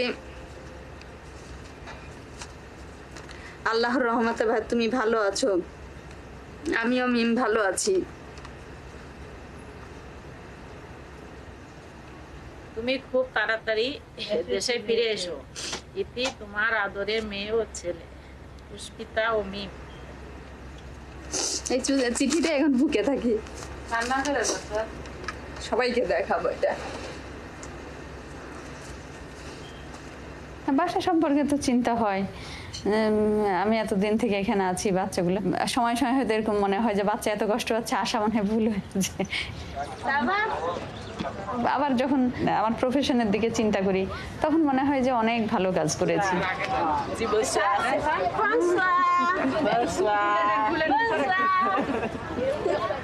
আমরা ইউনিফর্ম পরা মহিলারা এদেশের মহিলাদের সত্যি সাহসের কারণ। Bon le monde là. Il faut la laisser aller à l'école. Vous êtes en réunion Oui. Ça, c'est très bien. Comme vous êtes belle comme ça. Comment Ça va. আমরা বাঙালি নারী হিসেবে যে বাংলাদেশের দৃষ্টিভঙ্গি পরিবর্তন করতে পেরেছি যে আমরা নারীরাও সেবামূলক কাজ করতে পারি Decide to go camp. এই জন্য আর কি আমরা এখান থেকে যাব, অন্যদেরকে উৎসাহ যোগাবো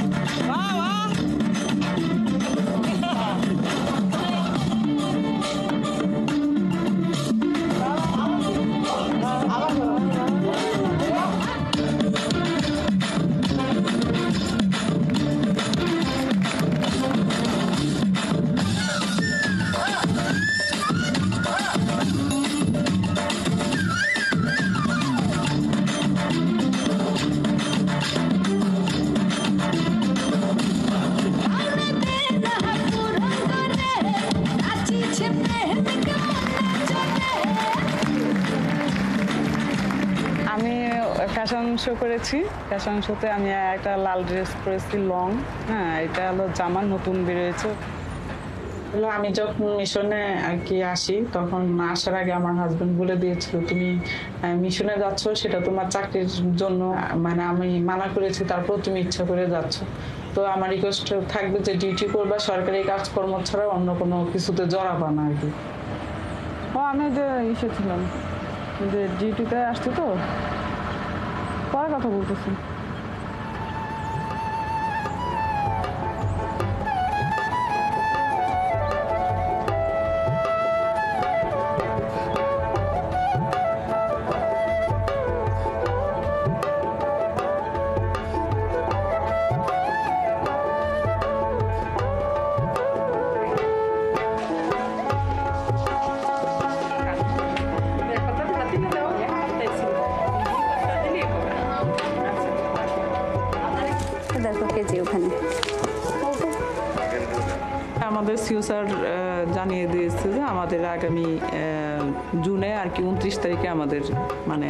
যাওয়ার একটা ডেট পড়েছে। তো আমরা এটা জানার পরে সবাই খুব খুশি। এই আনন্দের সাথে আমরা আর কি ডিটি এবং অন্যান্য গোছ গাছের কাজও করতেছি।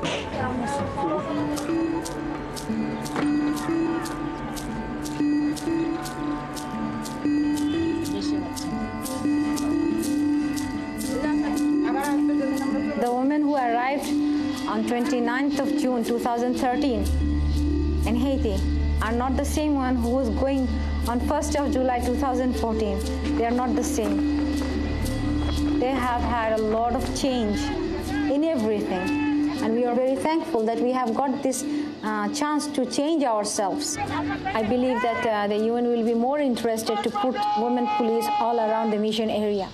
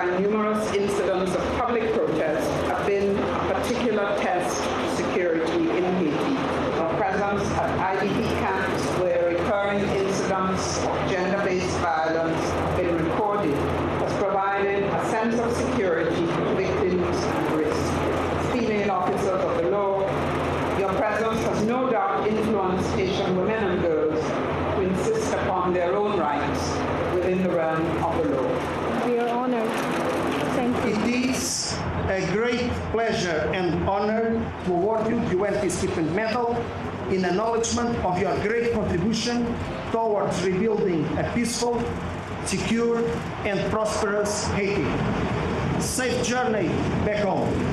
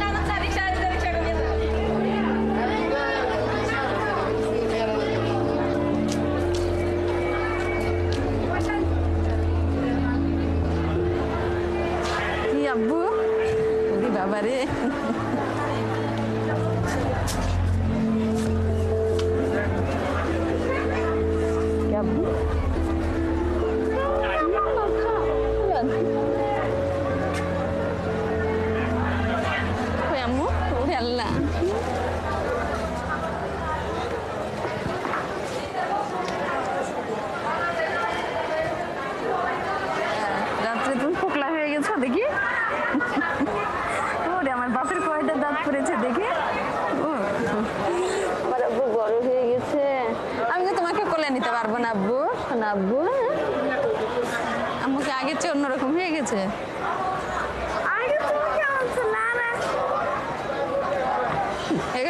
হয়েছি বলো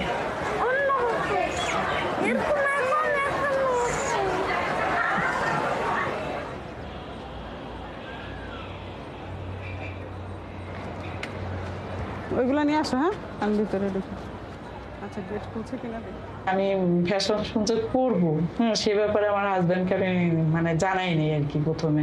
তো অনেক দিন রাগারাগি ছিল আর কি। আমার সাথে কথা বলেনি আর কি। আমিও রাগ করে আর ফোন দিইনি। তারপরও আমি আশা করি যে আমি সবকিছু আবার আগের মতো ম্যানেজ করে ফেলব। ওয়ালাইকুম আসসালাম। এত দেরি হলে মারা যাব এখানে। হ্যাঁ? এত দূরে থেকে এসে বুঝে দাঁড়ায় থাকা যায়। আমার আসসালাম আলাইকুম।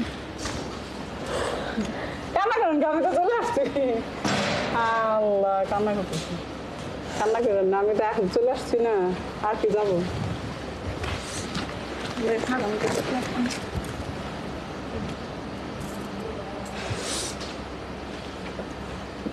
সবাই ভালো আছে তোমার দিদাম আসো আরে আম্মু এসে পড়ছে তুমি এদিকে আসো গলা আসো তুমি জানো না আজকে আসবো আম্মু কাঁদছে না ইয়ে জানে দেখে বাবা তোমার একটা সময় দাও। দাও একটা দুষ্ট ছেলেটা ওরে কি গরম। আমি চলে এসেছি আর যাব না সব নিয়ে চলে এসেছি। আব্বু আমার তুমি রাগ করছ আম্মুর সাথে? আম্মু আর যাব না তো। এখন আর যাব না তোমার কথাই ঠিক ঠিক আছে?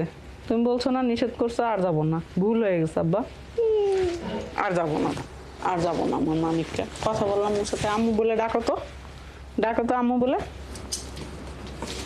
আমি পুতুল নিয়ে আসি, আম্মু। আর এটার মধ্যে সরকারি মালামাল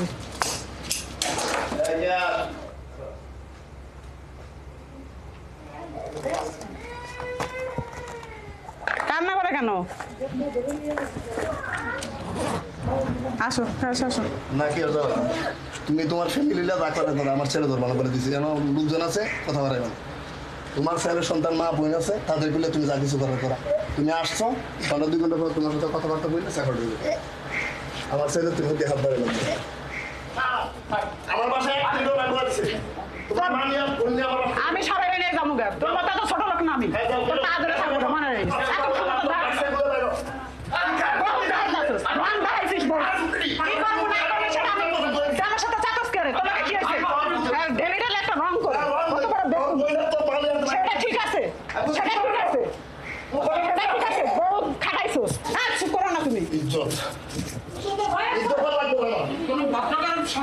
সন্তানের এরকম ব্যবহার চাষাবাসের সাথে এরকম হয়েছে দেখি কাম শুধু তো আমার আসেন তো আপনি এদিকে আসুন।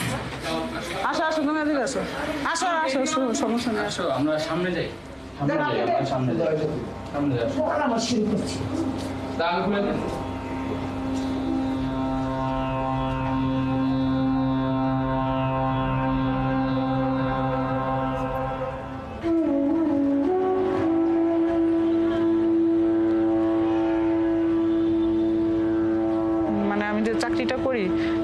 মাঝে মাঝে খুব রাগ হলে বলে কি চাকরি করা দরকার নেই।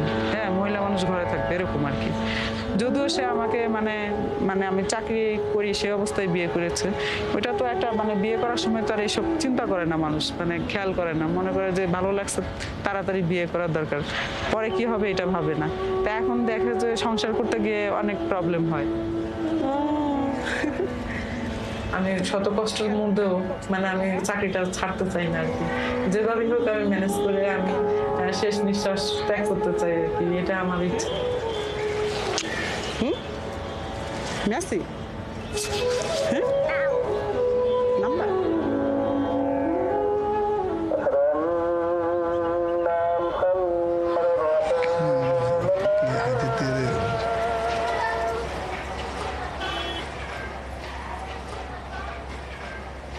এখন তো ওই টেনশনটা আমারও নেই আমার ছেলেদেরও নেই অল ফ্যামিলি মানে শূন্যতাটা আবার পুরা পূর্ণ হয়েছে বাসা যে এখন সবাই আনন্দ আমরা।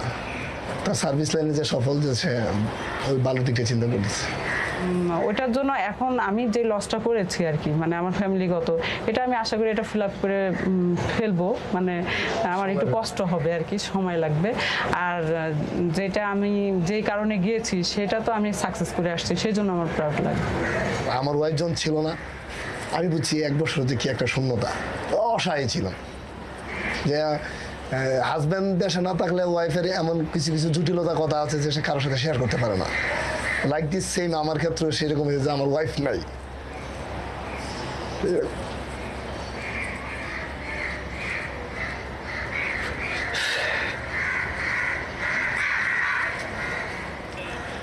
এই আর কি।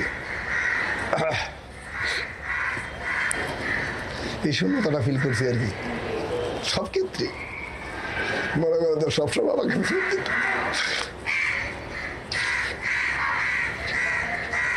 আমাকে অল টাইম টেক কেয়ার করতে আর কি, ওটা ছিল না।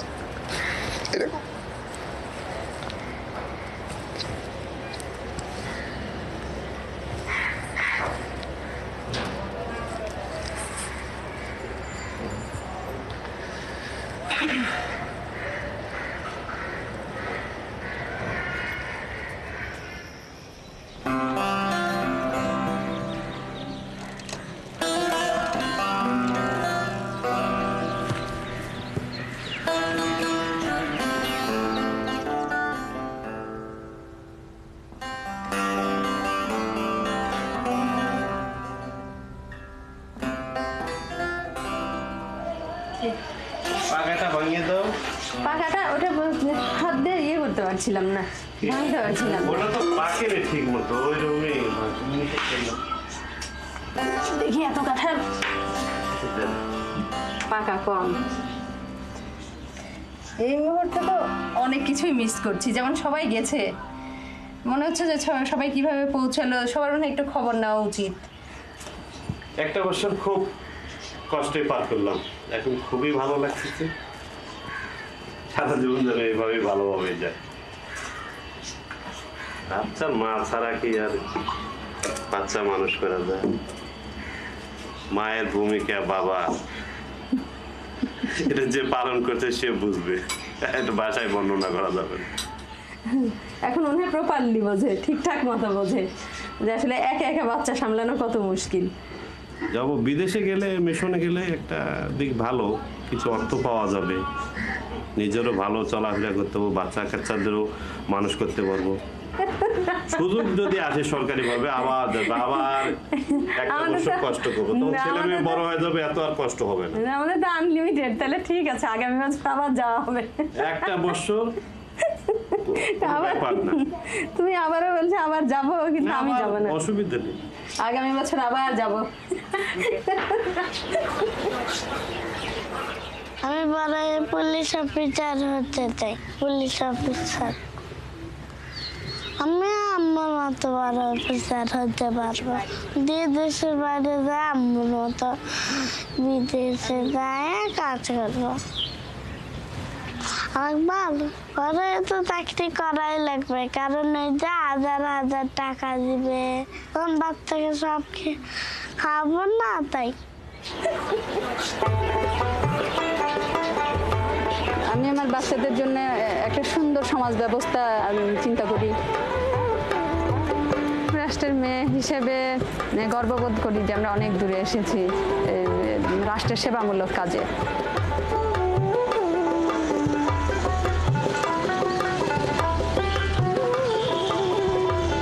আমরা পরবর্তীতে আরও চিন্তা ভাবনা করছি যে আমাদের দেশের মেয়েরা যেন আরও অগ্রসর হতে পারে।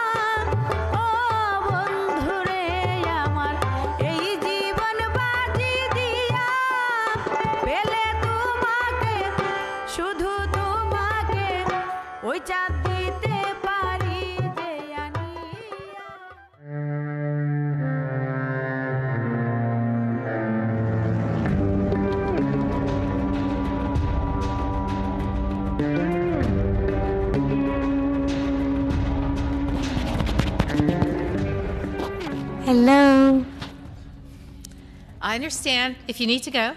I totally get it. But if you have any questions about the film, I am happy to answer them. Um, to put it into context, uh, my first film was about women during wartime in Liberia. And uh, way back a million years ago, when I was a PhD candidate, I wrote a dissertation on war novels. Um, because I was so interested in the way there was um, a presumption of masculinity around war, um, even though some of the language implied the presence of women, like rape and pillage or house to house fighting. And I always wondered why women were written out of the stories, even though they were really in them. Um, and and when I think about the way we tell war stories, we generally tell them um, from John Wayne's perspective. You know, like if there's a camera that goes in somebody's forehead, it's John Wayne's forehead. Um, and what I saw making the Liberia film was that if you give that camera into a woman's forehead, the whole thing starts to look very different, both in good ways and in not so good ways. Um, and it seemed important to make that shift um, to see war in a different and in a new way, and not to simply presume that we understand the dynamics of it or the challenges of it um, or the future of it. Um, and goodness knows it's changed. Um, so, so that's why Women, War, and Peace uh, came about as a series. And um, Bangladesh, I mean, I, I love these women. They're pretty incredible, aren't they? Um, and it's such a, a, a, burden to them to um, take away from their families, but the pride they get from doing it and the and understanding themselves as part of a a movement um, makes me really proud. So. Well, it just broke my heart too much to end the conversation right there before yes. we got to wrap up. So I thought if you want an opportunity for all to ask questions of anybody, I mean, especially after seeing that film, Abby's right here. If you want to have a, we thought that if the, there are several questions, we can have several people who are thinking of asking a question, holding up your hands, so that we can maybe get a couple at a time. But let's start with do you see, uh, sorry, the microphones are in the wrong place at the moment, but let me ask you. Shout. Go ahead shout. shout. Hi, um, my name is Robert. Okay. Okay.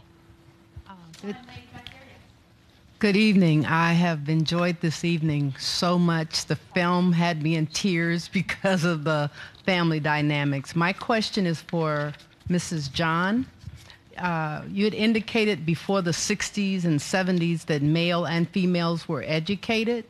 What changed? And I know in 79, but. I think, uh, Thank you. you know, it's 40 years of war. Uh, first, the 10 year of, uh, you know, it was 10 year war with, with Russia, uh, Soviet Union. And what they did is that they went village to village and they killed the men and raped the woman and, and you know, beheaded them and, and, and then left. And so there was so much destruction. And after that, you know, the, the Mujahideen came, or, um, you know, it took 10 years. And uh, the, the, the Mujahideen that came, most of them were these young men who were in camps in Pakistan that were trained in madrasas because they didn't have any parents. And America, you know, um, funded this mission to come and defeat the Soviet. And they came with Osama bin Laden, who at that time, I don't know how old, 23 years old or so.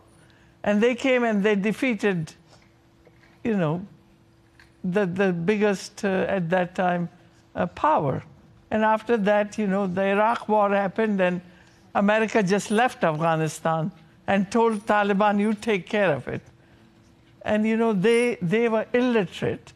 They had no values. They never lived with a woman. They never knew what a, what a place of a woman or a mother is because they were all orphans. And they had no value. And the only thing they thought is to protect women and not to allow them go outside of the house or so that was their that was their thinking which was so crazy and in the beginning they were very protective and and then as time went on and they became power and you know a widow coming out of the house alone couldn't do it because they would take her prison her and then on friday they would stone her to death hmm.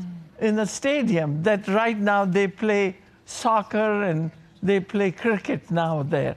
But at that time, that was a place every Friday they would bring these women, somebody wearing a red and a white socks. How dare you you know, and then they would kill them and they would stone them to death, literally. So, what are these? You know, that's, that's the reason that, that it, everything changed, and it's 40 years. And, and there's no way that, that, you know, only way you can change is to give some right or, or understanding what a woman's, you know, place is in a house. And I think education is the only one thing that, that can bring this, um, how small it is, you know, but I think it is making difference. And there are right now 7 million girls are going to school, you know, in Afghanistan with all what's happening. But it's, it's, it's a start. It's a restart of, of a new generation. Abby, I'd love to hear you So- pick up on that because Yeah. you've done a lot of work on Um, this. You know, it's commonly said in development circles that war is development in reverse, and that it's about seven years of development to make up for every one year of war. And, and interestingly, Bangladesh um, looked a lot like Haiti 40 years Yeah. ago. Bangladesh was just recovering from a terrible war, and uh, the women mass rapes and and.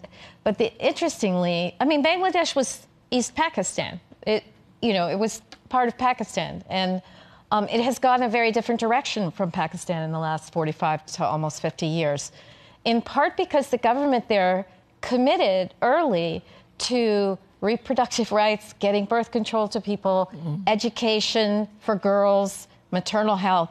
Um, they invest in micro enterprise was really essentially i- invented um, in Bangladesh by- by Mohammed Yunus, certainly at scale.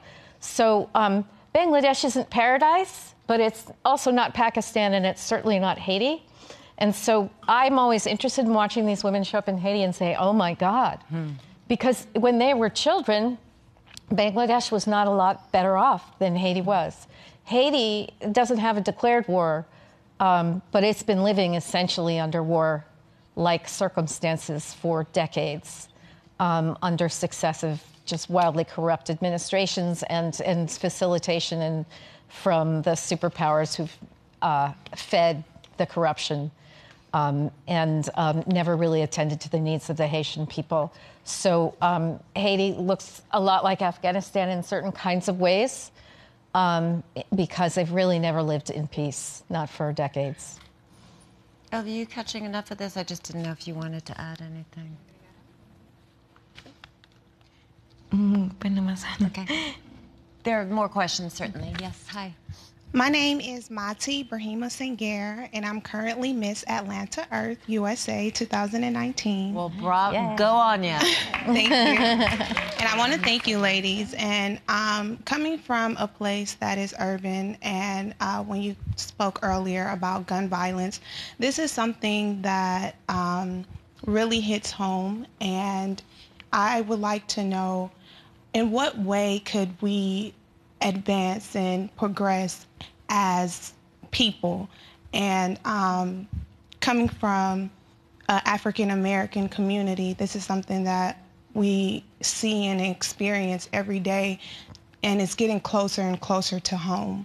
So, being that you guys have experience with people who come from such violent environments, how, in what way can we and we as people, as women, help these angry and violent people and trying to understand and put an end to it?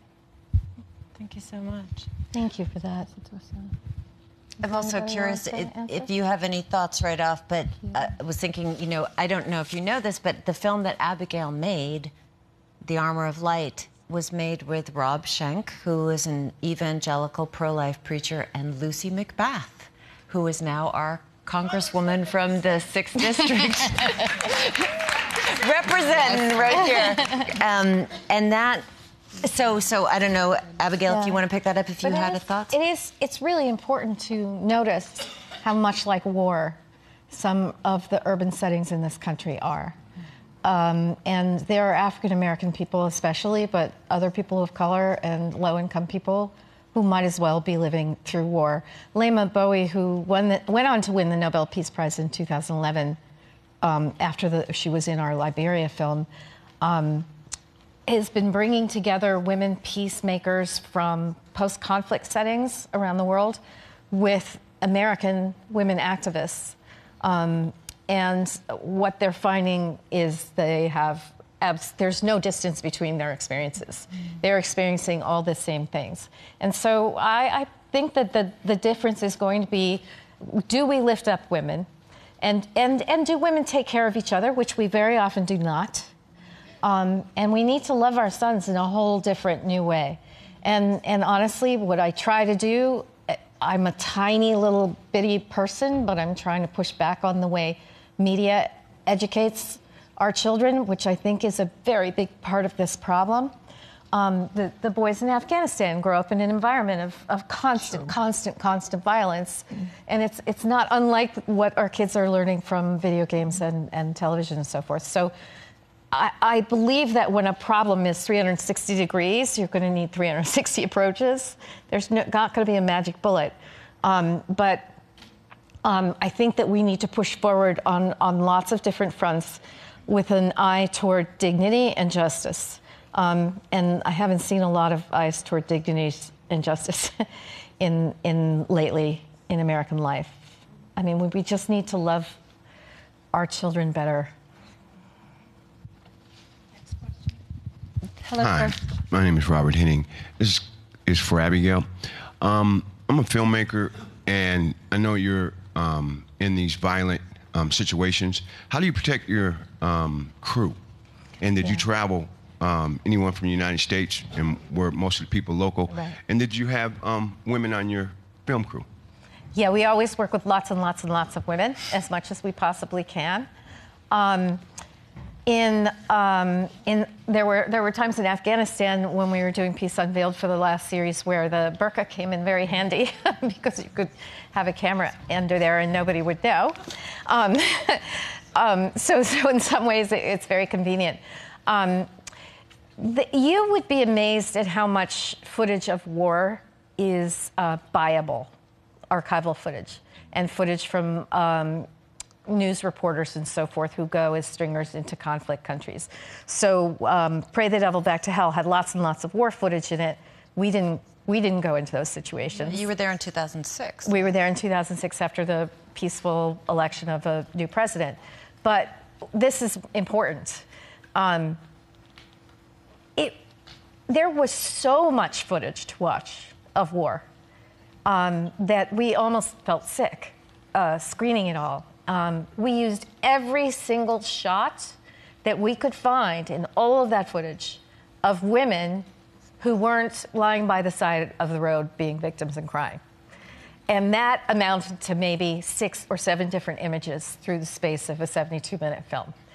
Um, we had journalists say to us, we saw those women protesting and we thought they were kind of pathetic, um, which is why no, there was no footage of them. And, and I just feel that that tells us something very important about how we get our information and what we're asking for as consumers of media. Because stringers don't shoot only violence if they think they can't sell it. Um, so when the violence stops, they shut the cameras down. It becomes uninteresting to them. So it's no wonder we think we live in a world of bad people and constant violence. Um, because that's the diet we're pretty steadily being fed. So, so we have, you know, we were in um, Cairo a couple of times, and um, Cairo was getting pretty dicey. Um, we actually, for um, another project, uh, had my partner was in Benghazi two weeks before the big famous things in Benghazi happened, and the woman that we were working with there was assassinated just a few weeks after we left her. So um, there are scary moments. We try to protect our crew as much as we can because I couldn't live with myself if something bad happened. But you know, you have an important job to do, and uh, you just have to do it. It's a woman up question up here. Um, My question is for Elvia. Oh, hi, my name's Janet. Bienvenidos in Atlanta. Um, could you tell me, you mentioned that you got the women of the village to talk about their violence and the actions against them, and they'd report it. But what was the reaction of the police? Or did they just say, oh, we're really sorry, too bad? Or were there repercussions from the reports? What's changing in the community now that the women are not afraid to report what's happening to them? Bueno, eh, cuando las mujeres empezaron a aprender y a conocer sobre sus derechos, algunas empezaron a denunciar, pero la policía no tuvo como reacción así como negativa, sino que era más de los esposos y de la comunidad. She said that um, when we started working in communities with women, that um, some of those women chose to seek help and some of them chose to, to file complaints. But the negative reaction really wasn't as much from the police, but more from spouses and other men in the community and the community as a whole. Porque en la comunidad es buen visto cuando la mujer aguanta la violencia, es- está encerrada, no dice nada. Entonces, para la comunidad eso es ser una buena mujer. Because in the communities where we work, uh, women are seen as a good woman uh, if they endure violence and stay closed in their homes and, you know, just don't talk about the violence. Cuando la mujer decide dar un alto, entonces la comunidad rechaza a la mujer. No solo es la comunidad, sino que también la familia, eh, los miembros de la comunidad tachan a la mujer y la ven mal. Entonces muchas Um, when a woman decides to put an end to violence, uh, whether that's to file a complaint or to leave the relationship, uh, she's rejected often in her community and rejected not only from her by her family but by the community as a whole sometimes. Entonces las mujeres se acercan con las mujeres que son agentes de cambio dentro de la comunidad, que son mujeres defensoras de los derechos de otras mujeres. So the uh, women in our program seek help from uh, community advocates who are women who are agents of change in their community and leaders, and they assist them through the process. Ellas son los que dan el acompañamiento y seguimiento también de los casos de las mujeres para que puedan acudir con la abogada que está trabajando en la iniciativa de la mujer. So they, these advocates accompany women and support them throughout the process and um, ensure that they feel supported despite that rejection, and they uh, bring them to WJ's office, WJI's office, to file complaints or seek help from us.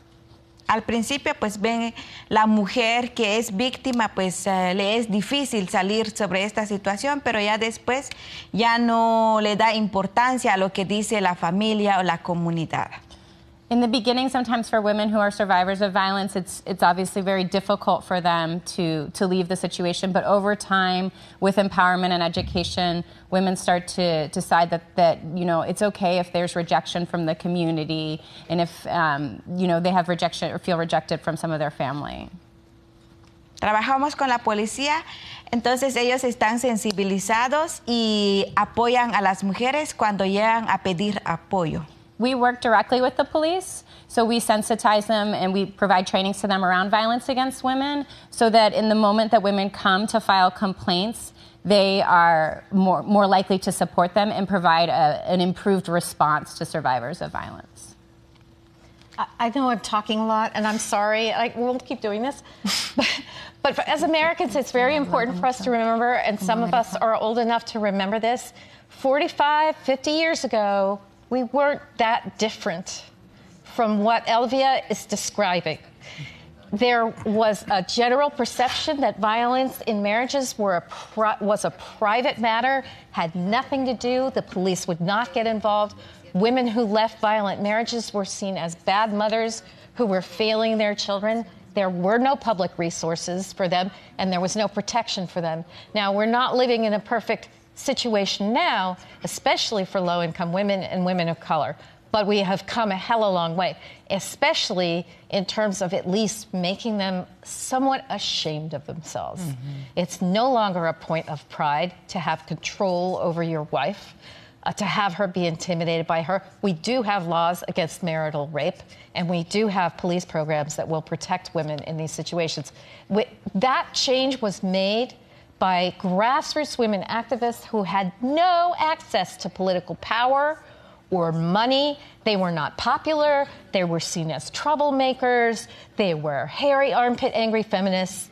And they were just doing it because no men would ever accept them or you know, remember the way we talked about feminists in the 1970s. so it is very important to remember that the women who choose to be unpopular and the women who choose to do the things that are problematic and unwelcome are the most sacred people because they are seeing a world ahead of themselves and building toward it in such a courageous way. That's what Razi is doing, that's what Elvia is doing, and we need to support them. I say keep talking. Here's a woman at, I think we've got one up here. Good evening, everyone. Okay. Good, good evening, everyone. Thank you very much. I've truly enjoyed this evening. Uh, my name is Herman Smitsotsa, and I'm a cross cultural communication uh, specialist. I also do global health. And I really enjoyed the, uh, the movie. And but my, I, the question that I have is that were you able to speak to the Haitian women who were being protected and find out what their views were? Because the, the film showed the reactions from the men. Obviously, they didn't want them there.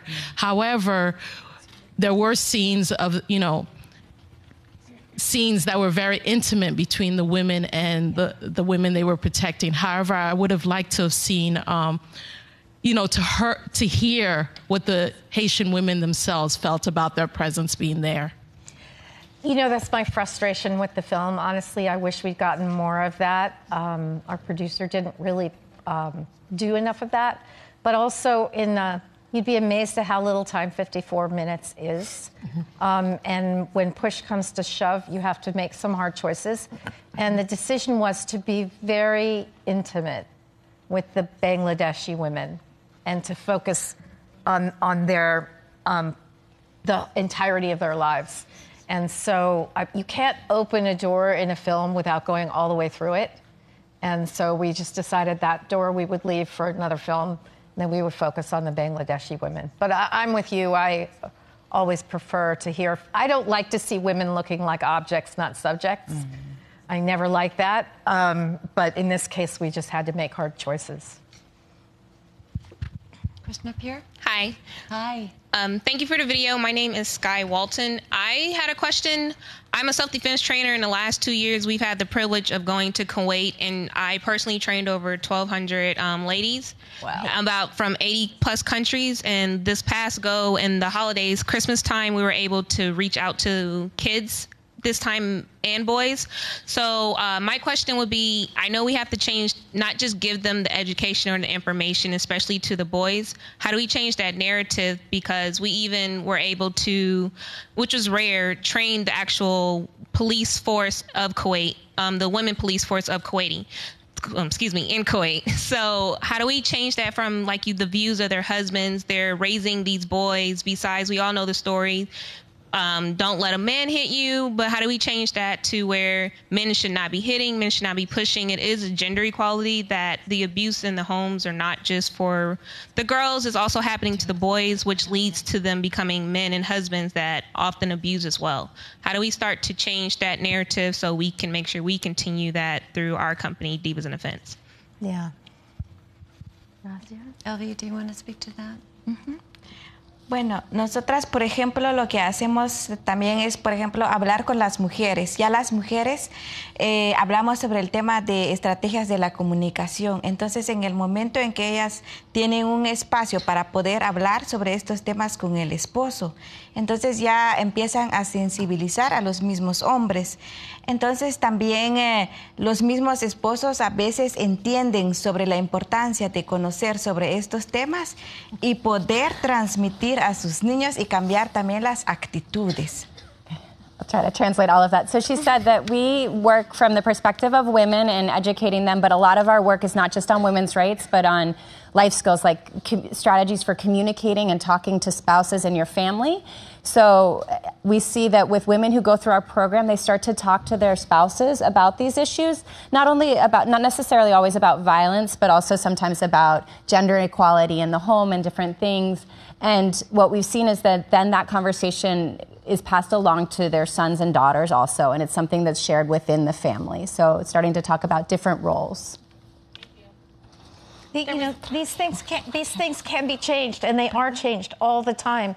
It takes constant effort um, and and a dogged determination and a willingness to be unpopular and seen as a problem.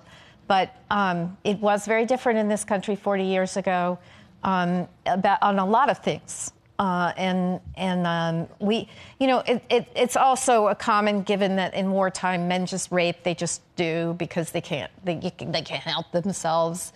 You know, I, I I'm sorry I'm going to swear, but that's some bullshit there.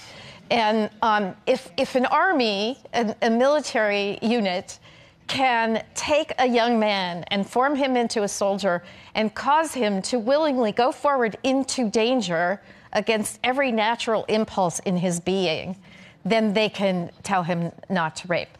So, and Napoleon, as he went across Europe, you know, he, he summarily executed any man who was caught raping a woman. He was just not going to have that in his. And guess what? There was very little rape. So it turns out they can control themselves. Um, and sometimes I do believe that it's the tolerators that are the bigger problem than the perpetrators.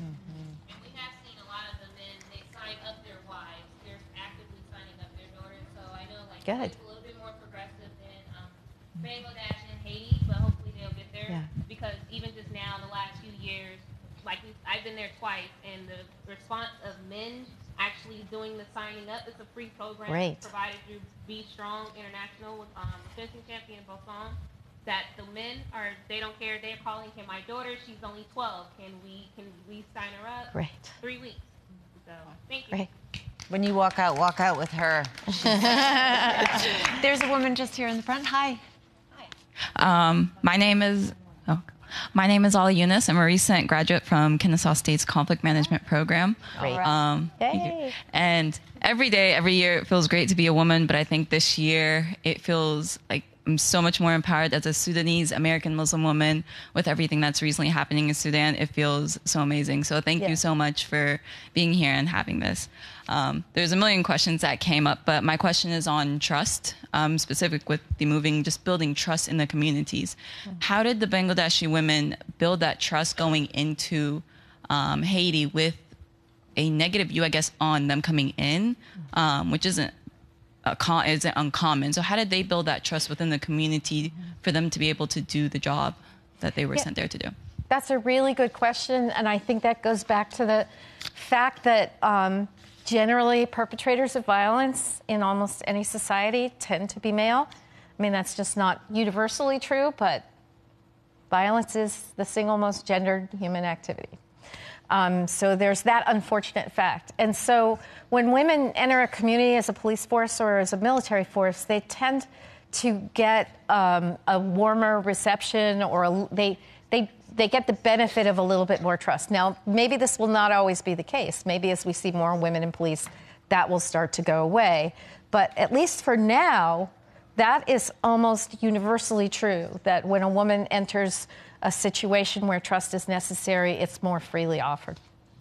There's also uh, some study in relation to police shootings in the last couple of years. I think it was a 2017 study, maybe out of UPenn. I may be misquoting this, um, that found in police forces where there were women the calming effect that it has and how many fewer um, discharges of firearms there are in those communities. I think it's something that, especially as we're looking at training police to to respond to threats or perceived threats differently. Um, there's a lot of school of thought around what it would mean to have more women in police forces, which I think is interesting. Sorry, did we have another? Hi there. Yeah, Miss Disney, you brought up a very good point about um, communities. We have a community in America, and I specifically reference Atlanta, of undocumented Hispanics. I've worked a lot with them as a volunteer. I was the first Hispanic in Roswell 46 years ago. They said, You don't look Hispanic. I said, Really? What do they look like? um, I can remember going to different places, and the women are afraid on a Friday night after their husband gets a paycheck and has a few drinks and beats the crap out of them Yeah. because they don't want to go to the police because they're afraid. Yeah. And we as a community have to be aware of those women and children because they don't have a safety net in this country at this point. I remember speaking to one man who was a quote preacher, and I said, No, I went and told these women, you have rights. No one can hit you. Go to the police. And he'd say, No, they like it. They, it means their husbands love them.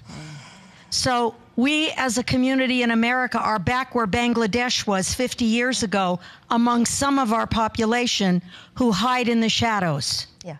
And we have to shine the light on them as well. Yeah. I'm going to let them pick this up because we're just about out of time. Um, Elvia, I didn't know if you want to do that or have you got thoughts on that, either of you? Ujú.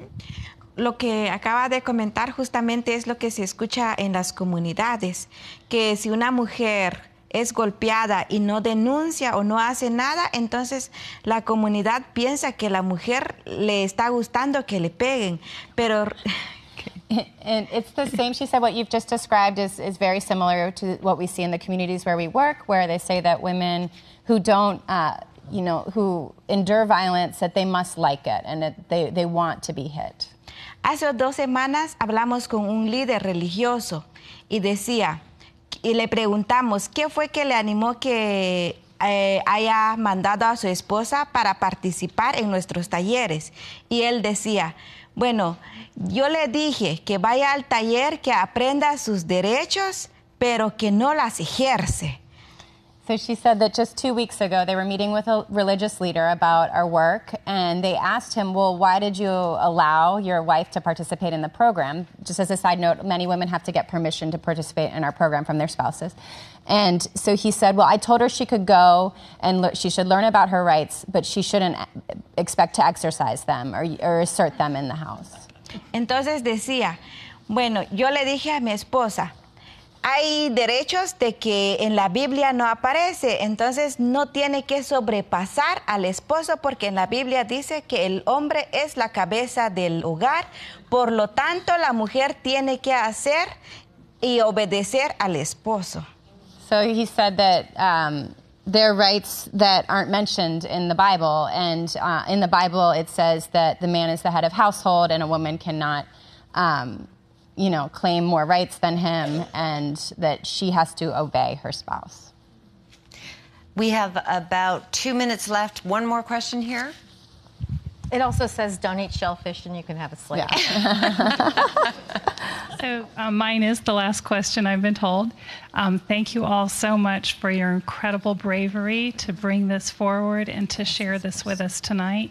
Um, I do feel empowered, and so I'd love to hear from maybe all of you or some of you who feel that you want us to go home with a what is the more, most important message we can take home to our children, boys and girls, our families, and our community. She's right on script. yeah, I think I think what I tell, and I speak a lot in different schools around here. Uh, we have written a book uh, which is a true story. It's called Razia's um, Ray of Hope. But this is a child who was not allowed to go to school, and then how did she manage to come to school? And that's a true story. But what I tell kids here is when I read that book and always tell them is that in life, as you're growing up, in a classroom, at home, if you can't help anybody, don't hurt them. Not physically, not with your word. Be kind. I think that's, that's only, and I tell my kids at school, you know, I sit in my office if I'm there, and I see these kids running at times, and I see which one is bully. You know, always there is, of course, uh, wants more power. And I call her, and we never hit them at all in my school. And I tell her, I try to make her understand that you know you have to be gentle. You can't be bully. You can't snatch things from people. You have no right. Everybody is even. So I think that's what my thing is, and I don't know what you have to say. I love that because what I know from my own life is that is that life is much more pleasurable when you're gentle. it's a happier life, right? Um, so as Americans, I think that we are um, swept up in a series of narratives about war, and this is why I'm a little obsessed with it because we've been at war for a really long time. I mean, longer than any other war in our history. And um,